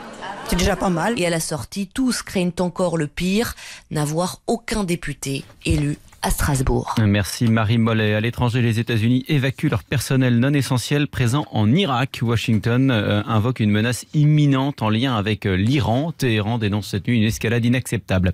Les États-Unis, où l'on apprend avec certitude que l'incendie de novembre dernier en Californie est dû à une défaillance des lignes électriques. Conclusion de l'enquête rendue cette nuit. Le feu avait causé la mort de 85 personnes. 60 000 hectares de végétation avaient brûlé. La petite ville de Paradise, dans le nord de la Californie, avait été quasiment rayée de la carte. RTL 6h05 minutes, on revient en, France. Les familles des victimes de la maison de retraite du Lerme commencent à y voir plus clair sur le drame du 31 mars. Près de Toulouse, cinq pensionnaires étaient morts. Il s'agit bien d'une intoxication alimentaire. Le procureur de la République a reçu les proches hier. C'est vraisemblablement un non-respect de la chaîne du chaud qui est à l'origine des vomissements. Certains aliments doivent être conservés au-dessus de 65 degrés. Maître Pierre Lebonjour est l'un des avocats des parties civiles. On a à l'origine des aliments qui étaient contaminés, c'est une certitude. À quelle hauteur, de façon acceptable ou pas acceptable, ça va être la question. On comprend également que la préparation de ces aliments-là n'a pas respecté la chaîne du chaud et donc euh, les bactéries se sont multipliées. Les vérifications, les contrôles étaient totalement absents. Des personnels qui étaient malades ne l'ont pas signalé comme ils l'auraient dû. Et en tous les cas, que l'on ne les a pas contrôlés dans ce sens-là. Les familles disaient que cela devait arriver. C'était avant de voir les conclusions de l'enquête de flagrance et elles avaient manifestement raison. Oui, ça ne pouvait qu'arriver quand on voit comment ces établissements fonctionnent. Des propos recueillis par Patrick Tégéraud. Allez, on passe au foot. Les clubs français s'organisent contre mmh. la réforme de la Ligue des Champions. Ils ont voté hier à une immense majorité contre ce projet, à l'exception notable du PSG, de Lyon et de l'OM. Il faut dire que seules les grandes équipes auraient intérêt à cette réforme. L'UEFA envisage un championnat européen quasiment sans risque de relégation, un peu à l'image de la NBA pour le basket américain. Philippe Sansfourche, le vote d'hier va en fait dans le même sens que celui survenu dans d'autres pays. Et après l'Angleterre, après l'Allemagne, c'est une nouvelle pierre dans le jardin de l'UEFA. Noël Legrette, l'homme fort du foot français, se voit ainsi conforté dans ses positions, inflexible envers cette réforme de la Ligue des Champions aux accents de ligue fermée entre grandes puissances. Vous savez, on l'a dit depuis longtemps, la France ne peut pas la voter. Elle la votera pas. Pour autant, les clubs français s'engagent à présenter un projet alternatif, moins élitiste. Bernard Cayazo, président de la S Saint-Etienne. On ne veut pas être simplement contre, on veut aussi faire des propositions. On va la travailler. Sera-t-elle acceptée Mais au moins, on ne pourra pas nous reprocher de ne pas avoir fait des propositions qui vont dans l'intérêt général et qui éliminent tous ces inconvénients de ligue semi-fermée. Reste à convaincre les trois poids lourds de la Ligue 1, PSG, Lyon, Marseille, séduits par le projet lucratif de l'UEFA et abstentionnistes hier malgré les injonctions de Noël Legrette. Oui, mais enfin, ils sont absolument gentiment. Ils constatent effectivement qu'une proposition peut être discutée et ils vont même travailler sur cette proposition. Le projet français ne risque-t-il pas d'arriver trop tard pour inverser le sens de l'histoire? Noël Legrette sera à Budapest demain pour tenter de convaincre d'autres fédérations de rallier sa cause. Merci Philippe Sansfourche. Merci à vous, euh, Jérôme Chapuis. On vous retrouve tout à l'heure à, À tout à 7h l'heure. avec Yves Calvi. Le temps, Marina, on va vous remercier aussi aujourd'hui. hein. Oui, ce sera encore du beau temps, pas mal de soleil, un temps sec. Bon, il y a deux, trois petits bémols quand même. Le voile nuageux qui se densifiera de la Bretagne à la Vendée il sera léger seulement dans l'après-midi sur le reste de la- du tiers ouest du pays. Et puis sur le Grand Est, on attend des passages nuageux dans l'après-midi venant d'Allemagne en fait ces nuages. Puis dernier bémol, quelques ondées encore possibles vers les Alpes-Maritimes et en Corse, mais de façon très très localisée. Quant au vent de nord-est, il sera essentiellement présent vers le nord-ouest du pays. Pour ce qui est des températures, un peu de fraîcheur encore par endroits, notamment vers Épinal, Charleville-Mézières, le nord-est en fait, là on n'a que 2 degrés, mais il fait 12 à Bordeaux, 11 à Toulouse et les températures cet après-midi un peu comme hier entre 15 et 24 degrés. Un mot du trafic, Olivia, ça roule ce matin? Je vous signale d'abord que l'autoroute euh, A85 vient d'être rouverte en direction d'Angers. Elle était euh, coupée depuis euh, un peu plus d'une demi-heure, un peu avant Saumur. En Ile-de-France, 8 km de bouchons, ça roule plutôt bien. Quelques difficultés sur la 6 d'Evry jusqu'à Grigny. Le Quintet, bonjour Dominique Cordier. Bonjour à tous, direction Longchamp ce soir avec euh, le départ du Quintet qui sera donné à 20h15. Il s'agit du prix de la place Vendôme, une épreuve réservée à 16 chevaux âgés de 5 ans et plus.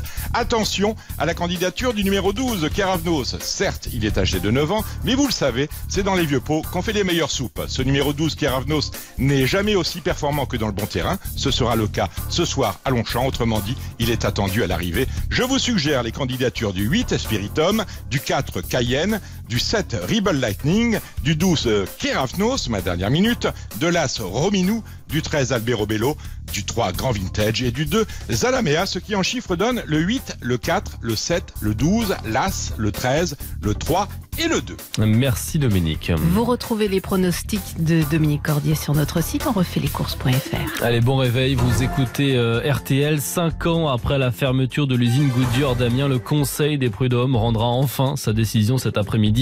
Le licenciement de 800 salariés était-il justifié alors que le groupe était bénéficiaire?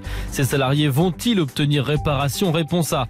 À 14h en attendant, Michael Ouamin, l'un des porte-voix de cette contestation, ex-représentant CGT de Goodyear, sera notre invité juste après ça sur RTL. À tout de suite. RTL Matin. Pour tout comprendre de l'actualité.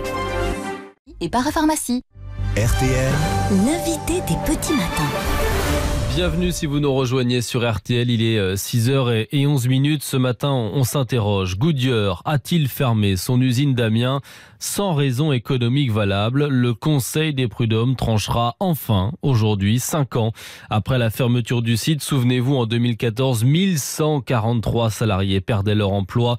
Triste épilogue d'un long bras de fer avec les syndicats. Nous avons tous encore en tête ces, ces images très fortes de pneus brûlés devant le site. Cette, cette colère, nous allons la réentendre. Écoutez, à l'époque, justement, cet ouvrier, il s'appelle Patrick et il criait son désarroi au micro de RTL. Ah, moi, je suis curbe. Écoutez, même je je venais d'avoir les larmes aux yeux parce que j'en ai marre. Franchement, j'en ai marre.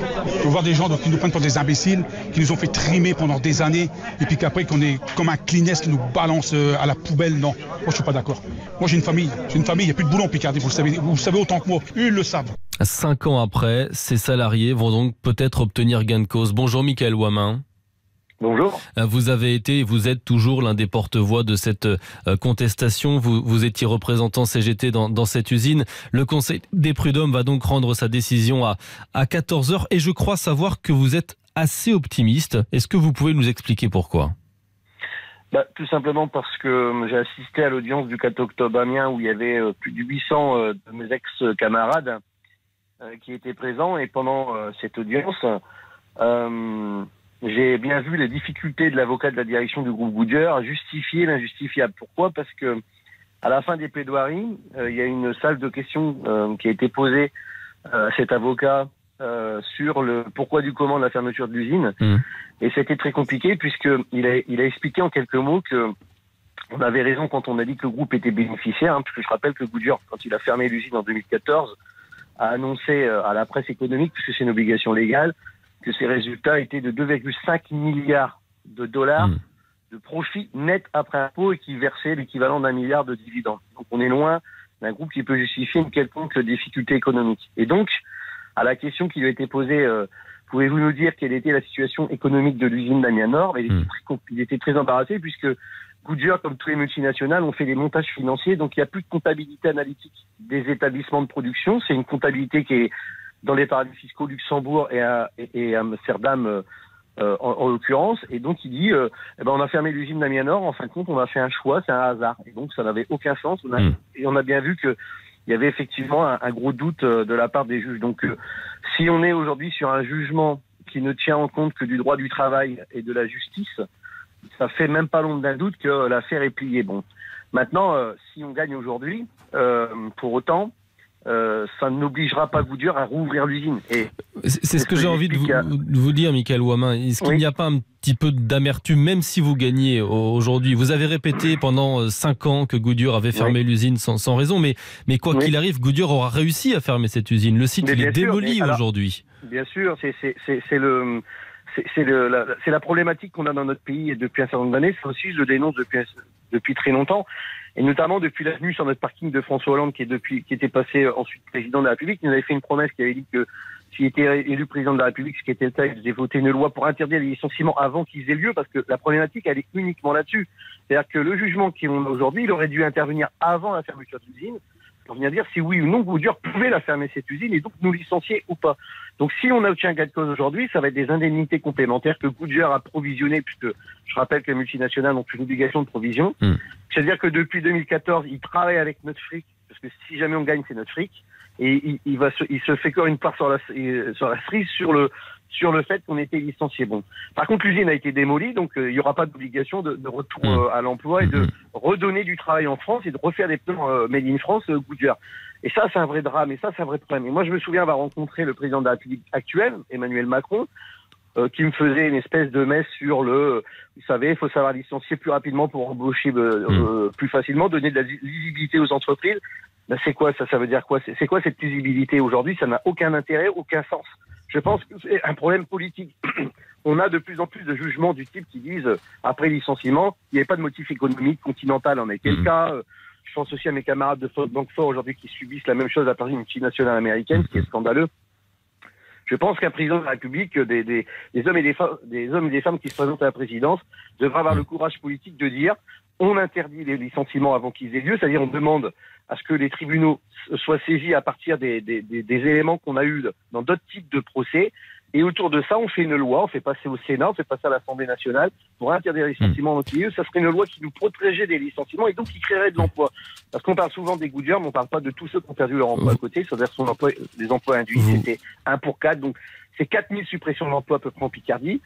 Justement, Michael Ouamin, vous, vous, vous parlez d'emploi et on sait qu'effectivement dans cette région c'est très difficile d'en d'en- d'en- d'en retrouver un aujourd'hui et cinq ans c'est euh, c'est long. Il a fallu se reconstruire. Est-ce qu'ils ont réussi à, à rebondir vos euh, vos collègues? Vous avez souvent pendant ces cinq ans vous évoqué des des suicides, des maladies chez les, les salariés de Goodyear après la la fermeture. Est-ce que c'est effectivement la triste réalité qui a rythmé ces cinq années? C'est c'est une, c'est une triste réalité. Et la première émotion qu'on va avoir aujourd'hui si, si on gagne, c'est qu'on va avoir une pensée très émue pour nos collègues qui seront plus là pour pouvoir avec nous, euh, entre guillemets, euh, excusez-moi, je suis un peu ému, mais profiter de cette euh, victoire, parce que pour nous, ça serait quand même une victoire, même si on ne retrouvera pas notre boulot. J'aurais une pensée pour toute leur famille, je les connais très bien en plus, donc voilà. Mais euh, ça, c'est le drame que l'on vit euh, maintenant euh, dans les fermetures d'entreprises. Très peu en parlent. On parle souvent de la violence sociale parce que les gens pètent un plomb ou ou euh, essayent d'obtenir des avantages parce que voilà, on, est complètement perdu, etc. Mais on parle rarement des gens qui ont perdu leur vie parce qu'ils se sont flagués, parce qu'ils ont perdu leur boulot. Et vous savez, euh, on est aujourd'hui au 52e congrès de la CGT à Dijon. Et moi, je- j'en profite pour dire, euh, il est, il est gravement urgent que la CGT euh, et les syndicats en règle générale arrêtent de jouer les partenaires sociaux. Moi, je suis pas partenaire de ces voyous qui ont fermé l'usine d'Amiens Nord. Voilà. Moi, quand on m'a dit qu'il faut fermer l'usine, j'ai pas essayé de dialoguer. Enfin, le dialogue social, ça n'existe pas. Le partenariat, ça n'existe pas. Moi, euh, ma- la finance, pour moi, c'est un ennemi. Mais je fais pas comme Macron, c'est un vrai ennemi. C'est-à-dire, je fais pas semblant. Et soyons pas étonnés de ce qui se passe avec les gilets jaunes. Vous savez, je j'appuie à fond leurs revendications. Je suis tous les samedis à leur côté.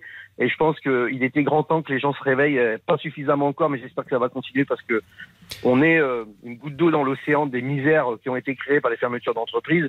Et il y a beaucoup de mes camarades aujourd'hui qui souffrent, qui sont même plus au RSA parce que, c'est- dramatique. Il y a des situations euh, sociales. Enfin, ça, il faut le voir pour le pour le croire. C'est-à-dire, ce- nous n'avions rien demandé. Enfin, les indemnités, on n'en avait rien à foutre. On voulait juste garder notre boulot, continuer à à payer nos, nos cotisations sociales, continuer à faire vivre nos enfants, euh, continuer à être dans une région euh, alors qui est certes euh, pas certainement la plus belle de France, mais qui en tout cas nous faisait vivre dignement et on se levait le matin pour aller bosser. Et euh, j'en veux énormément à la classe politique parce que je pense qu'elle est à la fois coupable de ce qui nous est arrivé parce qu'ils ne se sont pas opposés. Euh, moi, je me souviens d'un ministre qui s'appelle Red Samen, qui a autorisé les licenciements des, des, des élus du personnel, qui a validé la fermeture de l'usine. Et ces gens-là se disaient de gauche, donc euh, il faut pas qu'ils soient étonnés pour ce qui se passe en France aujourd'hui. Cette colère, elle est tout à fait légitime. Moi, je la partage euh, totalement.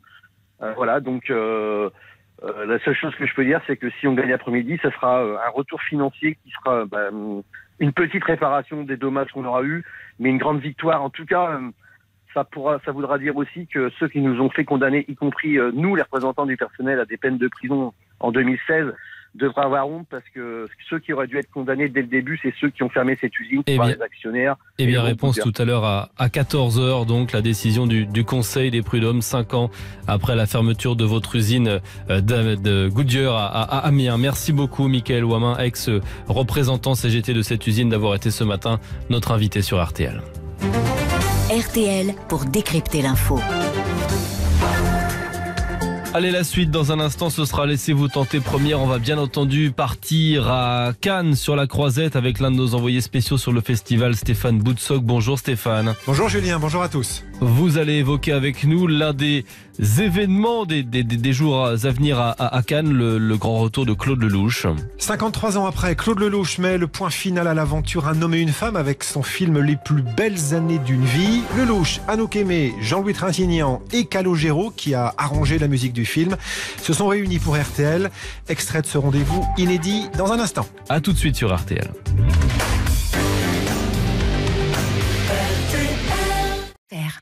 Laissez-vous tenter première. RTL,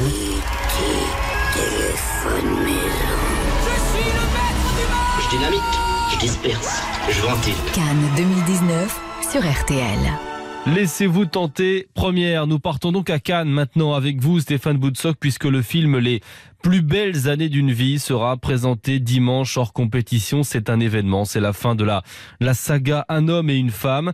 Et euh, un petit avant-goût, tiens, ce matin, une exclusivité. Vous avez réuni l'équipe du film. Oui, Claude Lelouch, Anouk Aimé, Jean-Louis Trintignant, de retour 53 ans après. Et puis le petit nouveau de la bande, Calogero, qui a composé et arrangé la bande originale.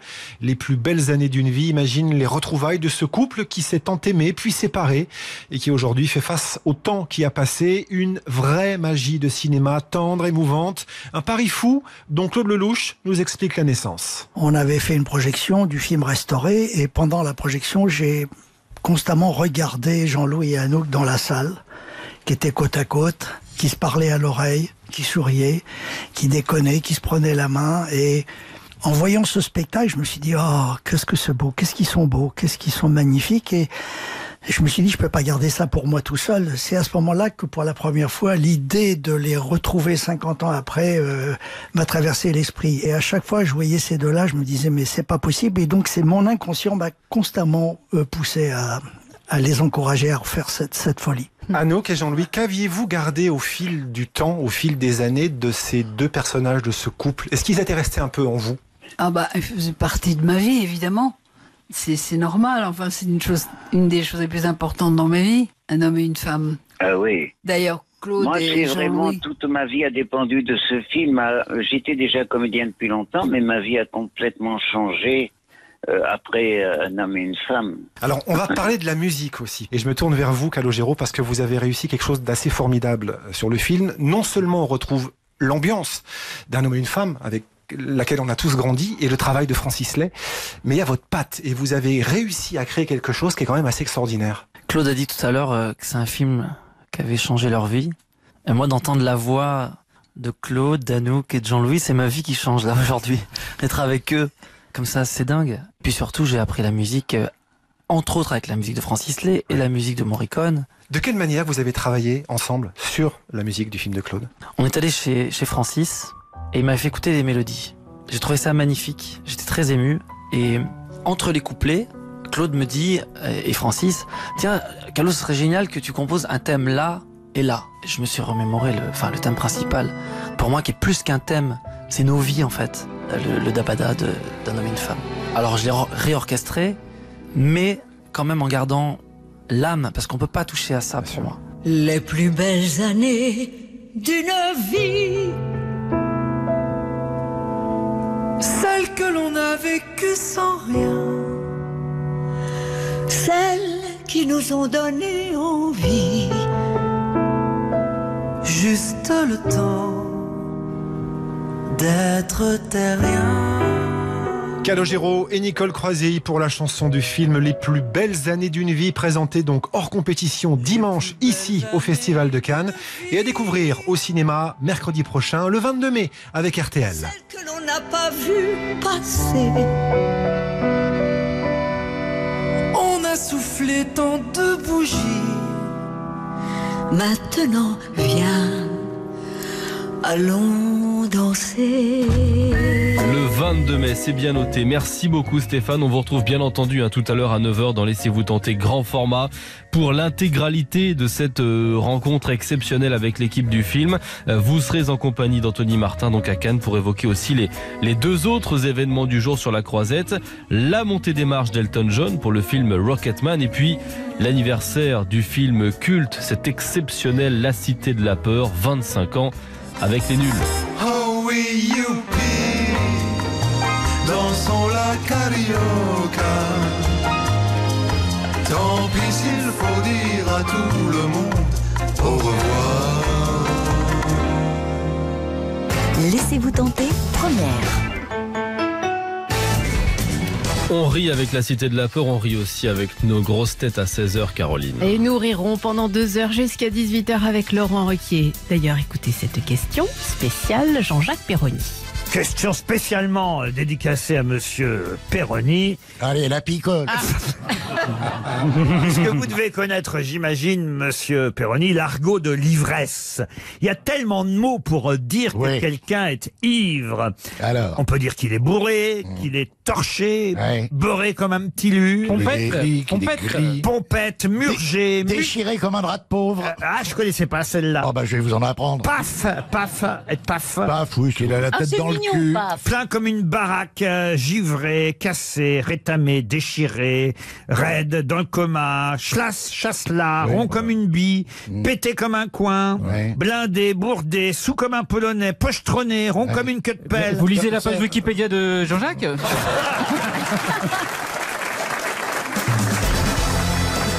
Rendez-vous à 16h avec les grosses têtes et Laurent Ruquier.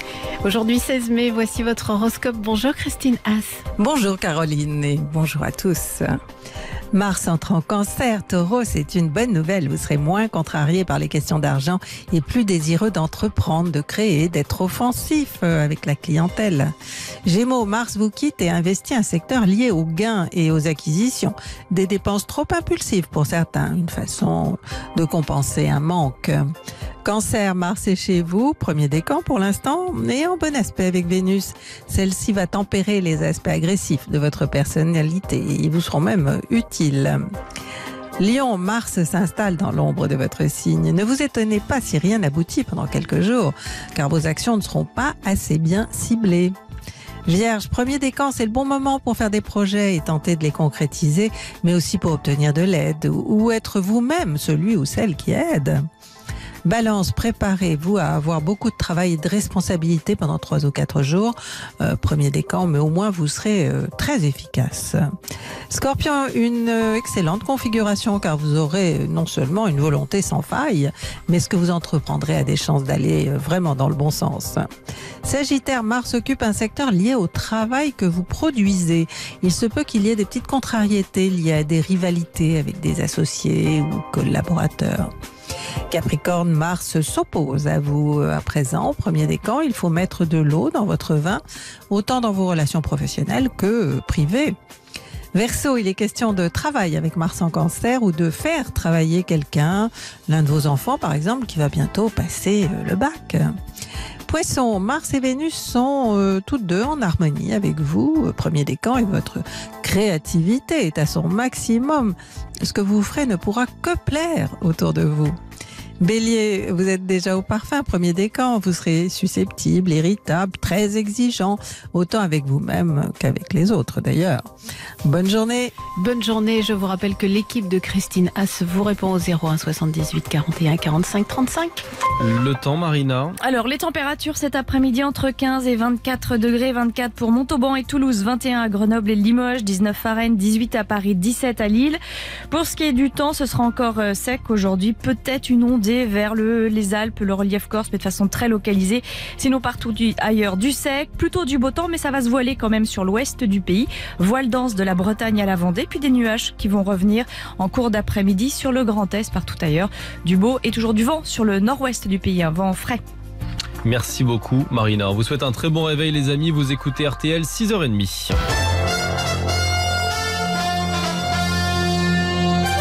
Votre journal avec Jérôme Florin. Bonjour Jérôme. Bonjour Julien, bonjour à tous. De la friture sur la ligne entre Emmanuel Macron et Angela Merkel. Dans une interview, la chancelière étale ses différences avec son homologue qui dédramatise, vous l'entendrez. Dans l'actualité également, LR au grand complet sur scène hier soir à 10 jours des Européennes et un grand absent qui met tout le monde d'accord, Nicolas Sarkozy. L'heure de vérité pour les anciens Gaudières, le Conseil des prud'hommes doit dire aujourd'hui si leur licenciement était justifié et puis nous irons faire un tour dans l'Orient Express qui a fait une courte halte à Gare de l'Est.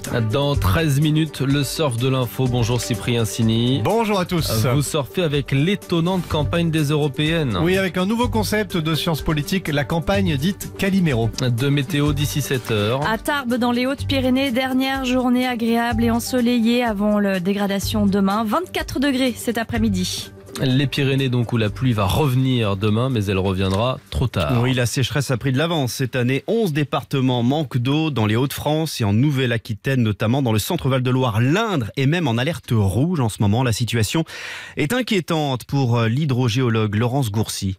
À partir d'une certaine période, euh, vers avril, la nature euh, commence à reprendre ses droits, c'est-à-dire qu'il faut de l'eau pour les arbres, pour les plantes, pour les cultures. Et à ce moment-là, la pluie, elle va plus pouvoir traverser le sol. En fait, elle va soit s'évaporer intégralement, soit être absorbée en fait par les plantes. Donc, de manière en fait assez exceptionnelle, on a pu avoir des recharges lorsqu'il y a des périodes vraiment pluvieuses sur euh, plusieurs jours, vers mai, même jusqu'à juin. Pour le moment, ce n'est pas le cas, les pluies ne sont pas suffisantes. Donc il y a effectivement des secteurs, le nord de la vallée du Rhône, un peu dans le nord de la France, le sud de la Loire, où les niveaux étant bas maintenant, il n'y aura pas de recharge, donc euh, on peut avoir euh, localement des restrictions d'eau pendant l'été. Laurence Gourcy du Bureau de recherche géo- géologique et minière. Elle était au micro de Virginie Garin. RTL 6h et 32 minutes de l'eau maintenant, mais dans le gaz entre Emmanuel Macron et Angela Merkel. Le sacro-saint couple franco-allemand battrait-il de l'aile Dans une interview, la chancelière évoque ses avec son homologue français et ce à 10 jours des européennes. Nous avons des confrontations, dit-elle. L'expression originale en allemand, Wir ringen miteinander, avait d'abord été traduite en français par nous avons une relation conflictuelle, ce qui n'est pas tout à fait ça, mais tout de même, Angela Merkel évoque des différences de mentalité. Emmanuel Macron, lui, dédramatise. Moi, je ne crois ni à la confrontation stérile, ni à l'entente stérile. Je crois à la confrontation féconde. C'est-à-dire, on propose, on teste le partenaire et on essaie ensemble de bâtir un compromis. Nous devons réussir à accepter des désaccords momentanés de ne pas être totalement d'accord sur tout pour avoir le courage d'affirmer ce que nous voulons. Emmanuel Macron. Et le ministre allemand de l'économie, Peter Altmaier, sera l'invité d'Elisabeth Martichoux à 7h45 sur RTL. RTL, L'Europe et vous. Et à l'approche du scrutin européen, les ténors des Républicains étaient réunis au grand complet hier soir au Palais des Congrès à Paris. Première image d'unité, deux ans après le fiasco de la présidentielle à droite, autour de la tête de liste François-Xavier Bellamy, le patron de LR, Laurent Wauquiez, la présidente de la région Île-de-France, Valérie Pécresse, le président du Sénat, Gérard Larcher, et même Nicolas Sarkozy, ou presque. En tout cas, l'ancien chef de l'État était bien dans toutes les têtes. Reportage de Dominique Tenza.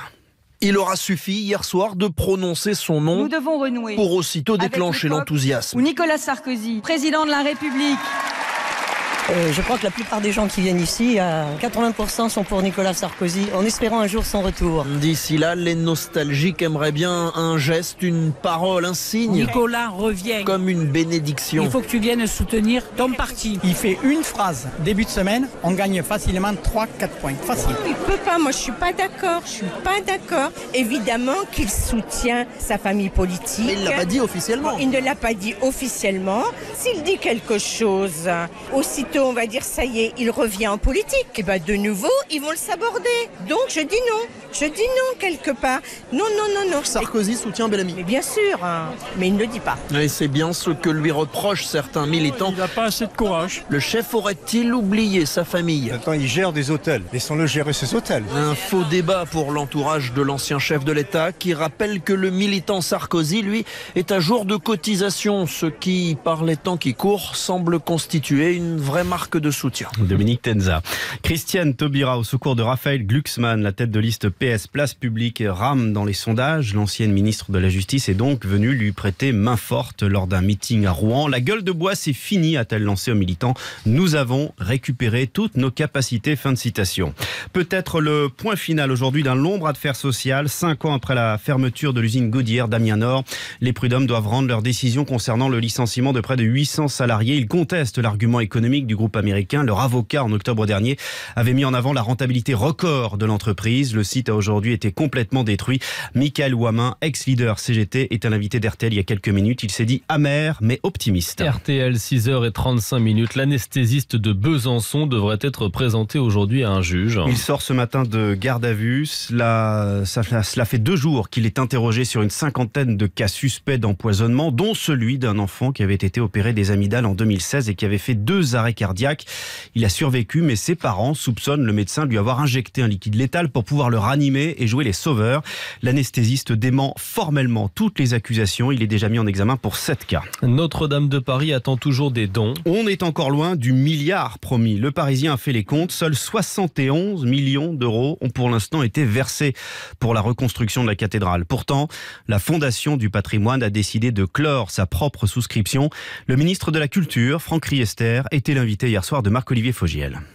On appelle à nouveau euh, à la générosité euh, des donateurs. Aujourd'hui, on a 850 millions d'euros Mhm. à peu près, c'est pas à l'euro près, mais à peu près de promesses de dons.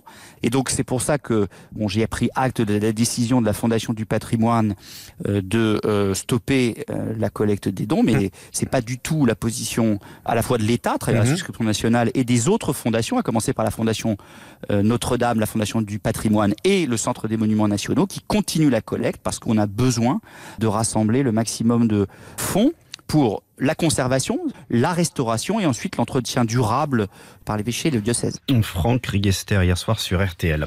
Encore un gros chiffre ce matin dans le monde de l'art. On vous parlait hier matin d'un tableau de Claude Monet parti à plus de 110 millions de dollars aux enchères à New York. Et bien ces dernières heures, c'est un lapin de Jeff Koons qui a été vendu 91 millions de dollars. C'est un moulage en acier d'un lapin euh, gonflable. La sculpture la plus importante de la seconde moitié du XXe siècle d'après le président de Christie's. Allez, on s'interroge. Quel est le point commun entre Agatha Christie, Marlène Dietrich et Michael Jackson? Ils ont tous pris l'Orient Express. Le train de légende qui a été rénové vient d'être exposé. Gare de l'Est à Paris, Éric Vanny a suivi un petit visiteur très impressionné. Dès son arrivée sur le quai, le regard d'Acher est attiré par ce train qui brille.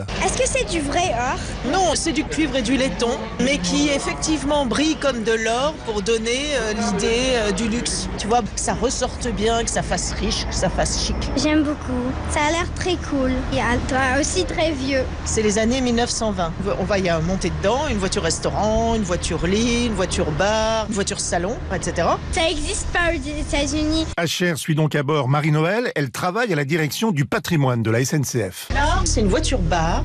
Regarde comme elle est belle. Elle a été refaite par des ébénistes. Elle a été refaite par des gens qui ont refait la moquette complètement, qui ont refait les tissus. Regarde ce qu'il y a sur les murs. Ça s'appelle de la marqueterie. C'est en première classe tout ce train. Et en poussant la porte de la voiture salon, surprise, un piano. Ça m'étonne. C'est comme un hôtel là. Tu veux nous jouer un petit morceau? Oui. Euh, moi, je voulais prendre ce train Où est-ce que tu irais à Istanbul. C'était la destination de l'Orient Express Istanbul. C'était magnifique. C'était bien. C'était bien, reportage sur les rails d'Éric Vanier. Un mot de tennis pour vous dire que Maria Sharapova est forfait pour euh, Roland Garros. Elle l'a annoncé sur son compte Instagram. L'ex numéro 1 mondial ne s'est toujours pas remise d'une opération à l'épaule. On finit ce journal avec une tradition bien de chez nous. L'inimitable baguette. Quatre ingrédients, de la farine, de l'eau, de la levure et du sel. Mais il faut du savoir-faire pour donner du goût et faire croustiller ce joyau de la gastronomie française qui pourrait bientôt être inscrit au patrimoine mondial de l'UNESCO. On a suivi hier le concours national, s'il vous plaît, de la meilleure baguette et le vainqueur est un jeune boulanger de 29 ans de Franche-Comté, Mehdi Courget. Sixième concours national de la meilleure baguette de tradition française. La première place est attribuée à Monsieur Courget Mehdi. C'est la troisième fois que je faisais le, concours régional. C'est la première fois que j'arrive jusqu'ici en finale. Ça fait trois mois que je travaille tous les jours dessus. Puis euh, à force de travailler, euh, voilà, on arrive à faire quelque chose qui passe aujourd'hui. J'ai eu un petit peu de chance aussi. J'ai sorti ma pâte du frigo, je l'ai mis en forme, je l'ai laissé reprendre en température. Ensuite, je l'ai façonné et je l'ai mis au four. Tout ça avec des temps bien respectés et énormément de minutie, en faisant toujours bien attention qu'elle fasse bien la bonne taille, la bonne cuisson, le bon grammage. Vous savez, quand on fait du pain, on- notre pain c'est toujours le meilleur, mais c'est les consommateurs qui décident. Là aujourd'hui, c'était les membres du jury, ils ont décidé que c'était la mienne, mais ça aurait pu être une autre. Le, le niveau, il était très relevé. Le champion de la baguette Mehdi Courget avec Jacques Seret, l'ami du pain. Merci beaucoup Jérôme, on vous laisse aller manger vos tartines et vous revenez pour le, le journal de 8h avec Yves Calvi. Le temps, Marina, on peut presque les manger en terrasse les tartines ce matin. Ah oui, franchement, ce sera du soleil sur quasiment tout le pays et même le petit voile sur l'ouest du pays sera pas très euh, vraiment peu dense, sauf quand même sur la Bretagne et l'ouest des Pays de la Loire. Ah bon? Oui, oui, c'est Oh, étonnant, hein, c'est sûr. C'est la première fois que ça arrive de Jamais. l'histoire de la météo, évidemment. Un ciel donc bien nuageux en cours de journée de la Bretagne à l'ouest des Pays de la Loire, mais sinon ailleurs du beau temps. Quand même, dans l'après-midi aussi sur le Grand Est, il y aura quelques passages nuageux. Pour les autres, euh, donc euh, ce ciel bleu, le vent de nord-est, alors il ne concernera que le nord-ouest du pays. Pour les autres, ça va se calmer. En Méditerranée, notamment comme hier sur la Corse et puis euh, les Alpes-Maritimes, on aura beaucoup, beaucoup moins d'averses, mais une ou deux ondées sont possibles de façon très localisée en cours de journée. Et côté température, cet après-midi, entre 15 et 24 degrés, 17 à Caen, à Lille, à Rouen et à Strasbourg, 18 à Paris et Orléans, 20 degrés pour Nantes et Aurillac, 21 à Montélimar, Marseille et Limoges, il fera 23 à Bordeaux, on attend 24 à Montauban. Merci beaucoup Marina, très bon réveil les amis. Dans 10 jours nous votons et dans quelques secondes nous allons surfer avec cette étonnante campagne des européennes Cyprien. Un décryptage. On parle pas beaucoup d'Europe, mais on se plaint beaucoup. Allez à tout de suite sur RTL. Bonne matinée en compagnie d'RTL. On a tellement de choses à se dire. Économisons-la. Le surf de l'info. Cyprien Sini. Allez, très bon réveil. Vous écoutez RTL, 6h43 minutes. Ce matin, Cyprien euh, postule pour entrer au service politique ici à Oh là RTL là. et il s'apprête à surfer avec l'étonnante campagne des européennes. Des plaintes et des complaintes des politiques, bonjour. Vous êtes candidat et vous voulez râler, vous plaindre. N'hésitez pas, les européennes sont apparemment faites pour ça. Oui, les amis, bienvenue dans la campagne où tout le monde se plaint. Hier, devant le siège de France Télé, scène surréaliste avec Benoît Hamon, Jean-Christophe Lagarde et Nicolas Dupont-Aignan unis pour se plaindre de l'organisation du prochain débat. Nous sommes tous les trois alors que nous avons des opinions très divergentes. C'est une manipulation organisée pour cacher les candidats. Mais bien sûr, une petite manipulation à l'ancienne, tranquillou pépouse. D'ailleurs, visiblement, ça c'est son thème de campagne à Nicolas Dupont-Aignan en ce moment, lui qui expliquait déjà. C'est incroyable Mais- ce qui se passe dans je- notre pays. On peut plus parler. On peut Quel plus est- rien dire. On peut plus rien dire. Mais moi je vous le dis, on peut plus rien dire. Donc je le dis. Et Eh oui, c'est logique, on l'invite partout dans les médias pour qu'il puisse dire que justement il ne peut plus rien dire. Du coup, il le dit car c'est bien connu de toute façon. Je crois que tout est fait pour me faire Évidemment, Nicolas Dupont-Aignan, c'est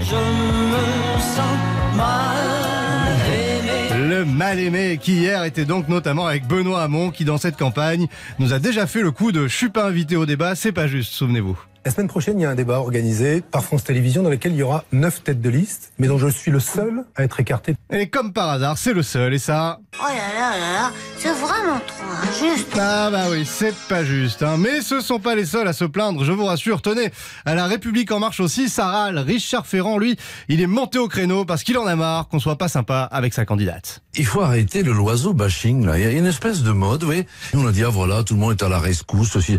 Mais c'est absolument pas ça. Mais oui, laissez-la tranquille, Nathalie Loiseau au quart. Qui c'est qui est très gentil Bah c'est Nathalie. Qui c'est qui est très Eh ben méchant ça c'est les méchants. Et dans la team pas content, on a aussi les ré- le républicain François-Xavier Bellamy. Lui, il en a ras la casquette que les méchants lui parlent de ses positions très conservatrices sur l'IVG. Il en a gros sur la patate avec ça. Moi, je suis élu de la République depuis 10 ans. Je suis enseignant sur le terrain depuis 10 ans.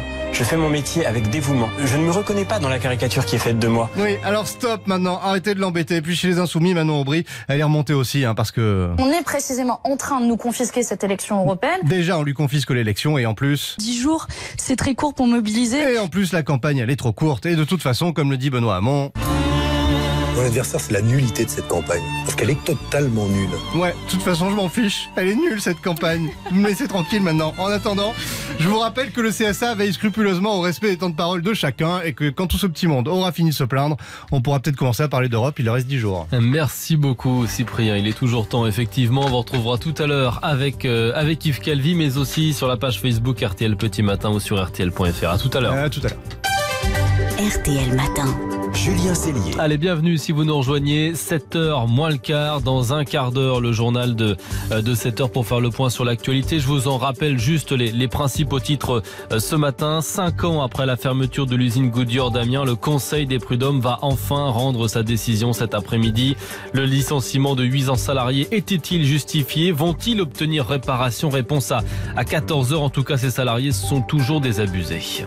De l'argent, j'en attends pas. Parce que de l'argent, ça nous ramènera pas de notre travail. La preuve, c'est qu'aujourd'hui, l'usine, elle est rasée. Qu'on soit reconnu comme quoi que l'usine n'a pas fermé à cause des salariés, mais bien à cause d'un licenciement abusif. Et il y a quelques minutes, Michael Wamin, l'un des porte-voix de cette contestation, ex-représentant CGT de l'usine, était notre invité. Il se dit amer mais optimiste.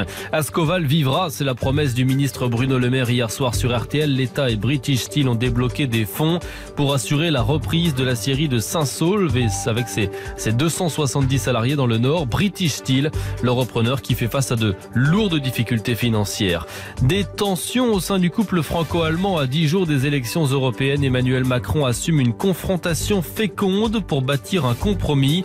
Angela Merkel, elle l'avoue dans une interview, elle a des différences de mentalité avec notre président à 7h45. Son ministre de l'économie, Peter Altmaier, le francophone Peter Altmaier, sera l'invité d'Elisabeth Martichoux sur RTL.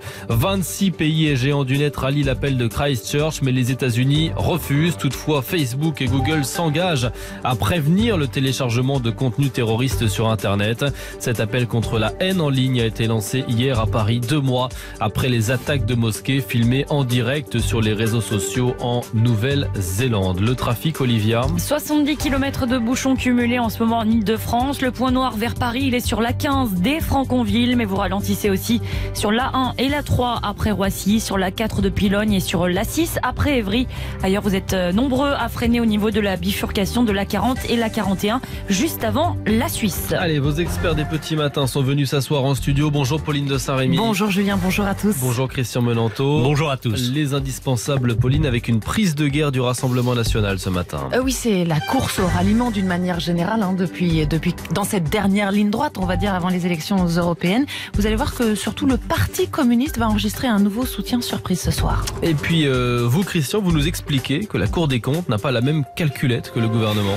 Et oui, il y a les déclarations du gouvernement d'un côté, et puis on s'aperçoit qu'elles ne sont pas toujours en ligne avec euh, les réalités que nous observons, et en tout cas que les magistrats financiers posent dans leurs conclusions. Vous allez voir, c'est parfois spectaculaire. A tout de suite les experts, vous êtes bien sur RTL.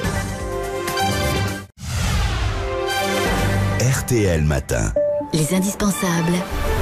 Pauline de Saint-Rémy. Allez, vos experts, à 7h10, et on commence avec vous, euh, Pauline, puisque c'est la toute dernière ligne droite avant euh, les élections euh, européennes. Et les partis en ce moment rivalisent d'annonces de soutien. Alors souvent des transferts de, de second couteau, mais, mais parfois lourds de sens. Et oui, le Rassemblement national a enregistré notamment mardi soir le soutien surprise d'un conseiller régional de la région Rhône-Alpes-Auvergne, venu des rangs de la France insoumise.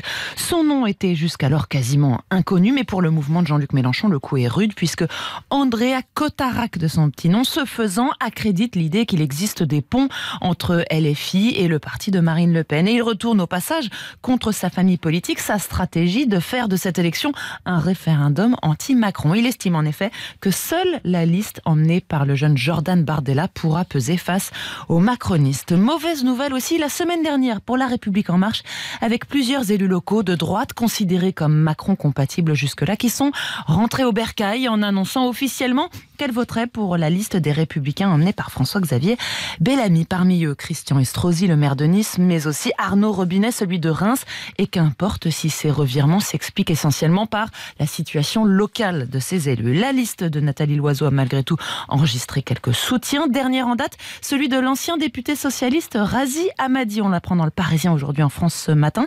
De la députée européenne LR sortante Françoise Grostet et enfin de l'ancienne ministre de la Justice socialiste Elisabeth Guigou. Et puis c'est une info RTL. Ce soir, c'est la tête de liste communiste Yann Brossa en meeting au gymnase Japy à Paris qui va pouvoir annoncer un soutien inattendu. Et oui, celui d'un proche d'Arnaud Montebourg, figurez-vous. Député de 2012 à 2017, Patrice Prat faisait partie des frondeurs à l'Assemblée nationale. Il a quitté le Parti socialiste depuis.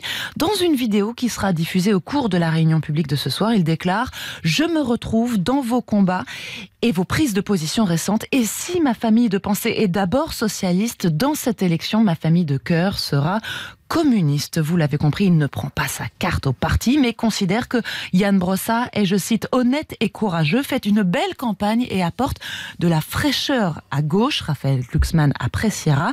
Yann Brossa, dont la bonne campagne, effectivement, fait beaucoup parler au Parti Socialiste, bien qu'il ne décolle pas vraiment dans les sondages. François Hollande lui-même a confié récemment qu'il trouvait que sa campagne était la meilleure à gauche. Votre plus, hier matin, un sondage de l'Institut ELAB plaçait la liste des Républicains de François Xavier Bellamy à 11% seulement d'intention de vote. Est-ce que c'est un, un motif d'inquiétude pour les troupes de Laurent Wauquiez Et oui, des troupes qui remontaient lentement la pente depuis quelques semaines. Alors oui, c'est un motif d'inquiétude. Pas de quoi gâcher pour autant la bonne ambiance hier soir pour leur grand meeting parisien au Palais des Congrès, mais dans la journée, certains parlementaires ressassaient entre l'idée que le président du parti ferait mieux de s'effacer un petit peu plus médiatiquement au profit de sa jeune tête de liste. Selon mes informations, plusieurs poids lourds de la campagne et du parti l'ont même dit directement à Laurent Wauquiez, pas plus tard qu'hier pour l'un d'entre eux. Hasard ou pas, le président des Républicains a pour une fois laissé Bellamy conclure le meeting hier soir. Merci beaucoup Pauline. RTL Matin. Éco Menanto. Christian, les limiers de la Cour des comptes viennent de passer nos comptes publics au microscope. Voici le verdict. Les déclarations du gouvernement, elles ne sont pas toujours en ligne avec les réalités. Eh oui, il y a des divergences hein, qui méritent quand même d'être relevées. Alors, la première, évidemment, et peut-être la plus singulière, c'est que pour la première fois depuis 2014 et après trois ans de quasi-stabilité, eh bien, le déficit budgétaire de l'État a dérapé l'an dernier. Il était négatif de 67 milliards en 2017 et le trou s'est creusé jusqu'à 76 milliards en 2018. Pour bien voir ce que cela représente, hein, sachez que c'est un montant qui est supérieur au total de l'impôt sur le revenu des Français. Pour être un peu plus concret encore, cela signifie que les recettes n'ont couvert que 9 mois de nos dépenses et que lors du dernier trimestre, tout a été payé à crédit. Donc la Cour des comptes fait des constats, mais elle explique aussi pourquoi il y a eu ces dérapages. Oui, absolument, hein, avec des explications assez précises. Elle explique, euh, par exemple, alors je vais vous épargner la, la technique, hein, mais on va retenir qu'il ne s'agit pas d'un dérapage généralisé, mais plutôt de la détérioration de deux facteurs. Le premier paraît maintenant structurel. L'État n'arrive pas à freiner ses dépenses de personnel. Il faut savoir que la masse salariale, au sens large, hein, ça représente quand même 40% du total, et surtout que contrairement à ses engagements, le gouvernement a encore augmenté ses effectifs l'an dernier. Et le second facteur, lui, est plus conjoncturel. Les recettes, c'est du côté des recettes qu'il faut regarder, eh bien, elles ont été écornées par l'ensemble des dispositifs de baisse des impôts du début du quinquennat. Les mesures sur l'ISF, sur la taxe d'habitation, le CICE, la suppression de nos cotisations sociales, la baisse de l'impôt sur les sociétés et quelques autres, cela a globalement représenté un manque à percevoir pour les comptes publics de 13,5 milliards. Le gouvernement, il s'était pourtant euh, engagé à un contrôle rigoureux des effectifs sous son autorité. Oui, et là, le rapport des magistrats financiers démontre qu'il a, en cours de route, Hmm. sérieusement révisé ses plans. Alors, on sait désormais, hein, depuis la conférence de presse du président de la République, que l'objectif affiché d'une suppression de 120 000 postes dans la fonction publique, dont 50 000 dont, dans les fonctions qui dépendent directement hein, de l'État, tout cela n'est plus d'actualité.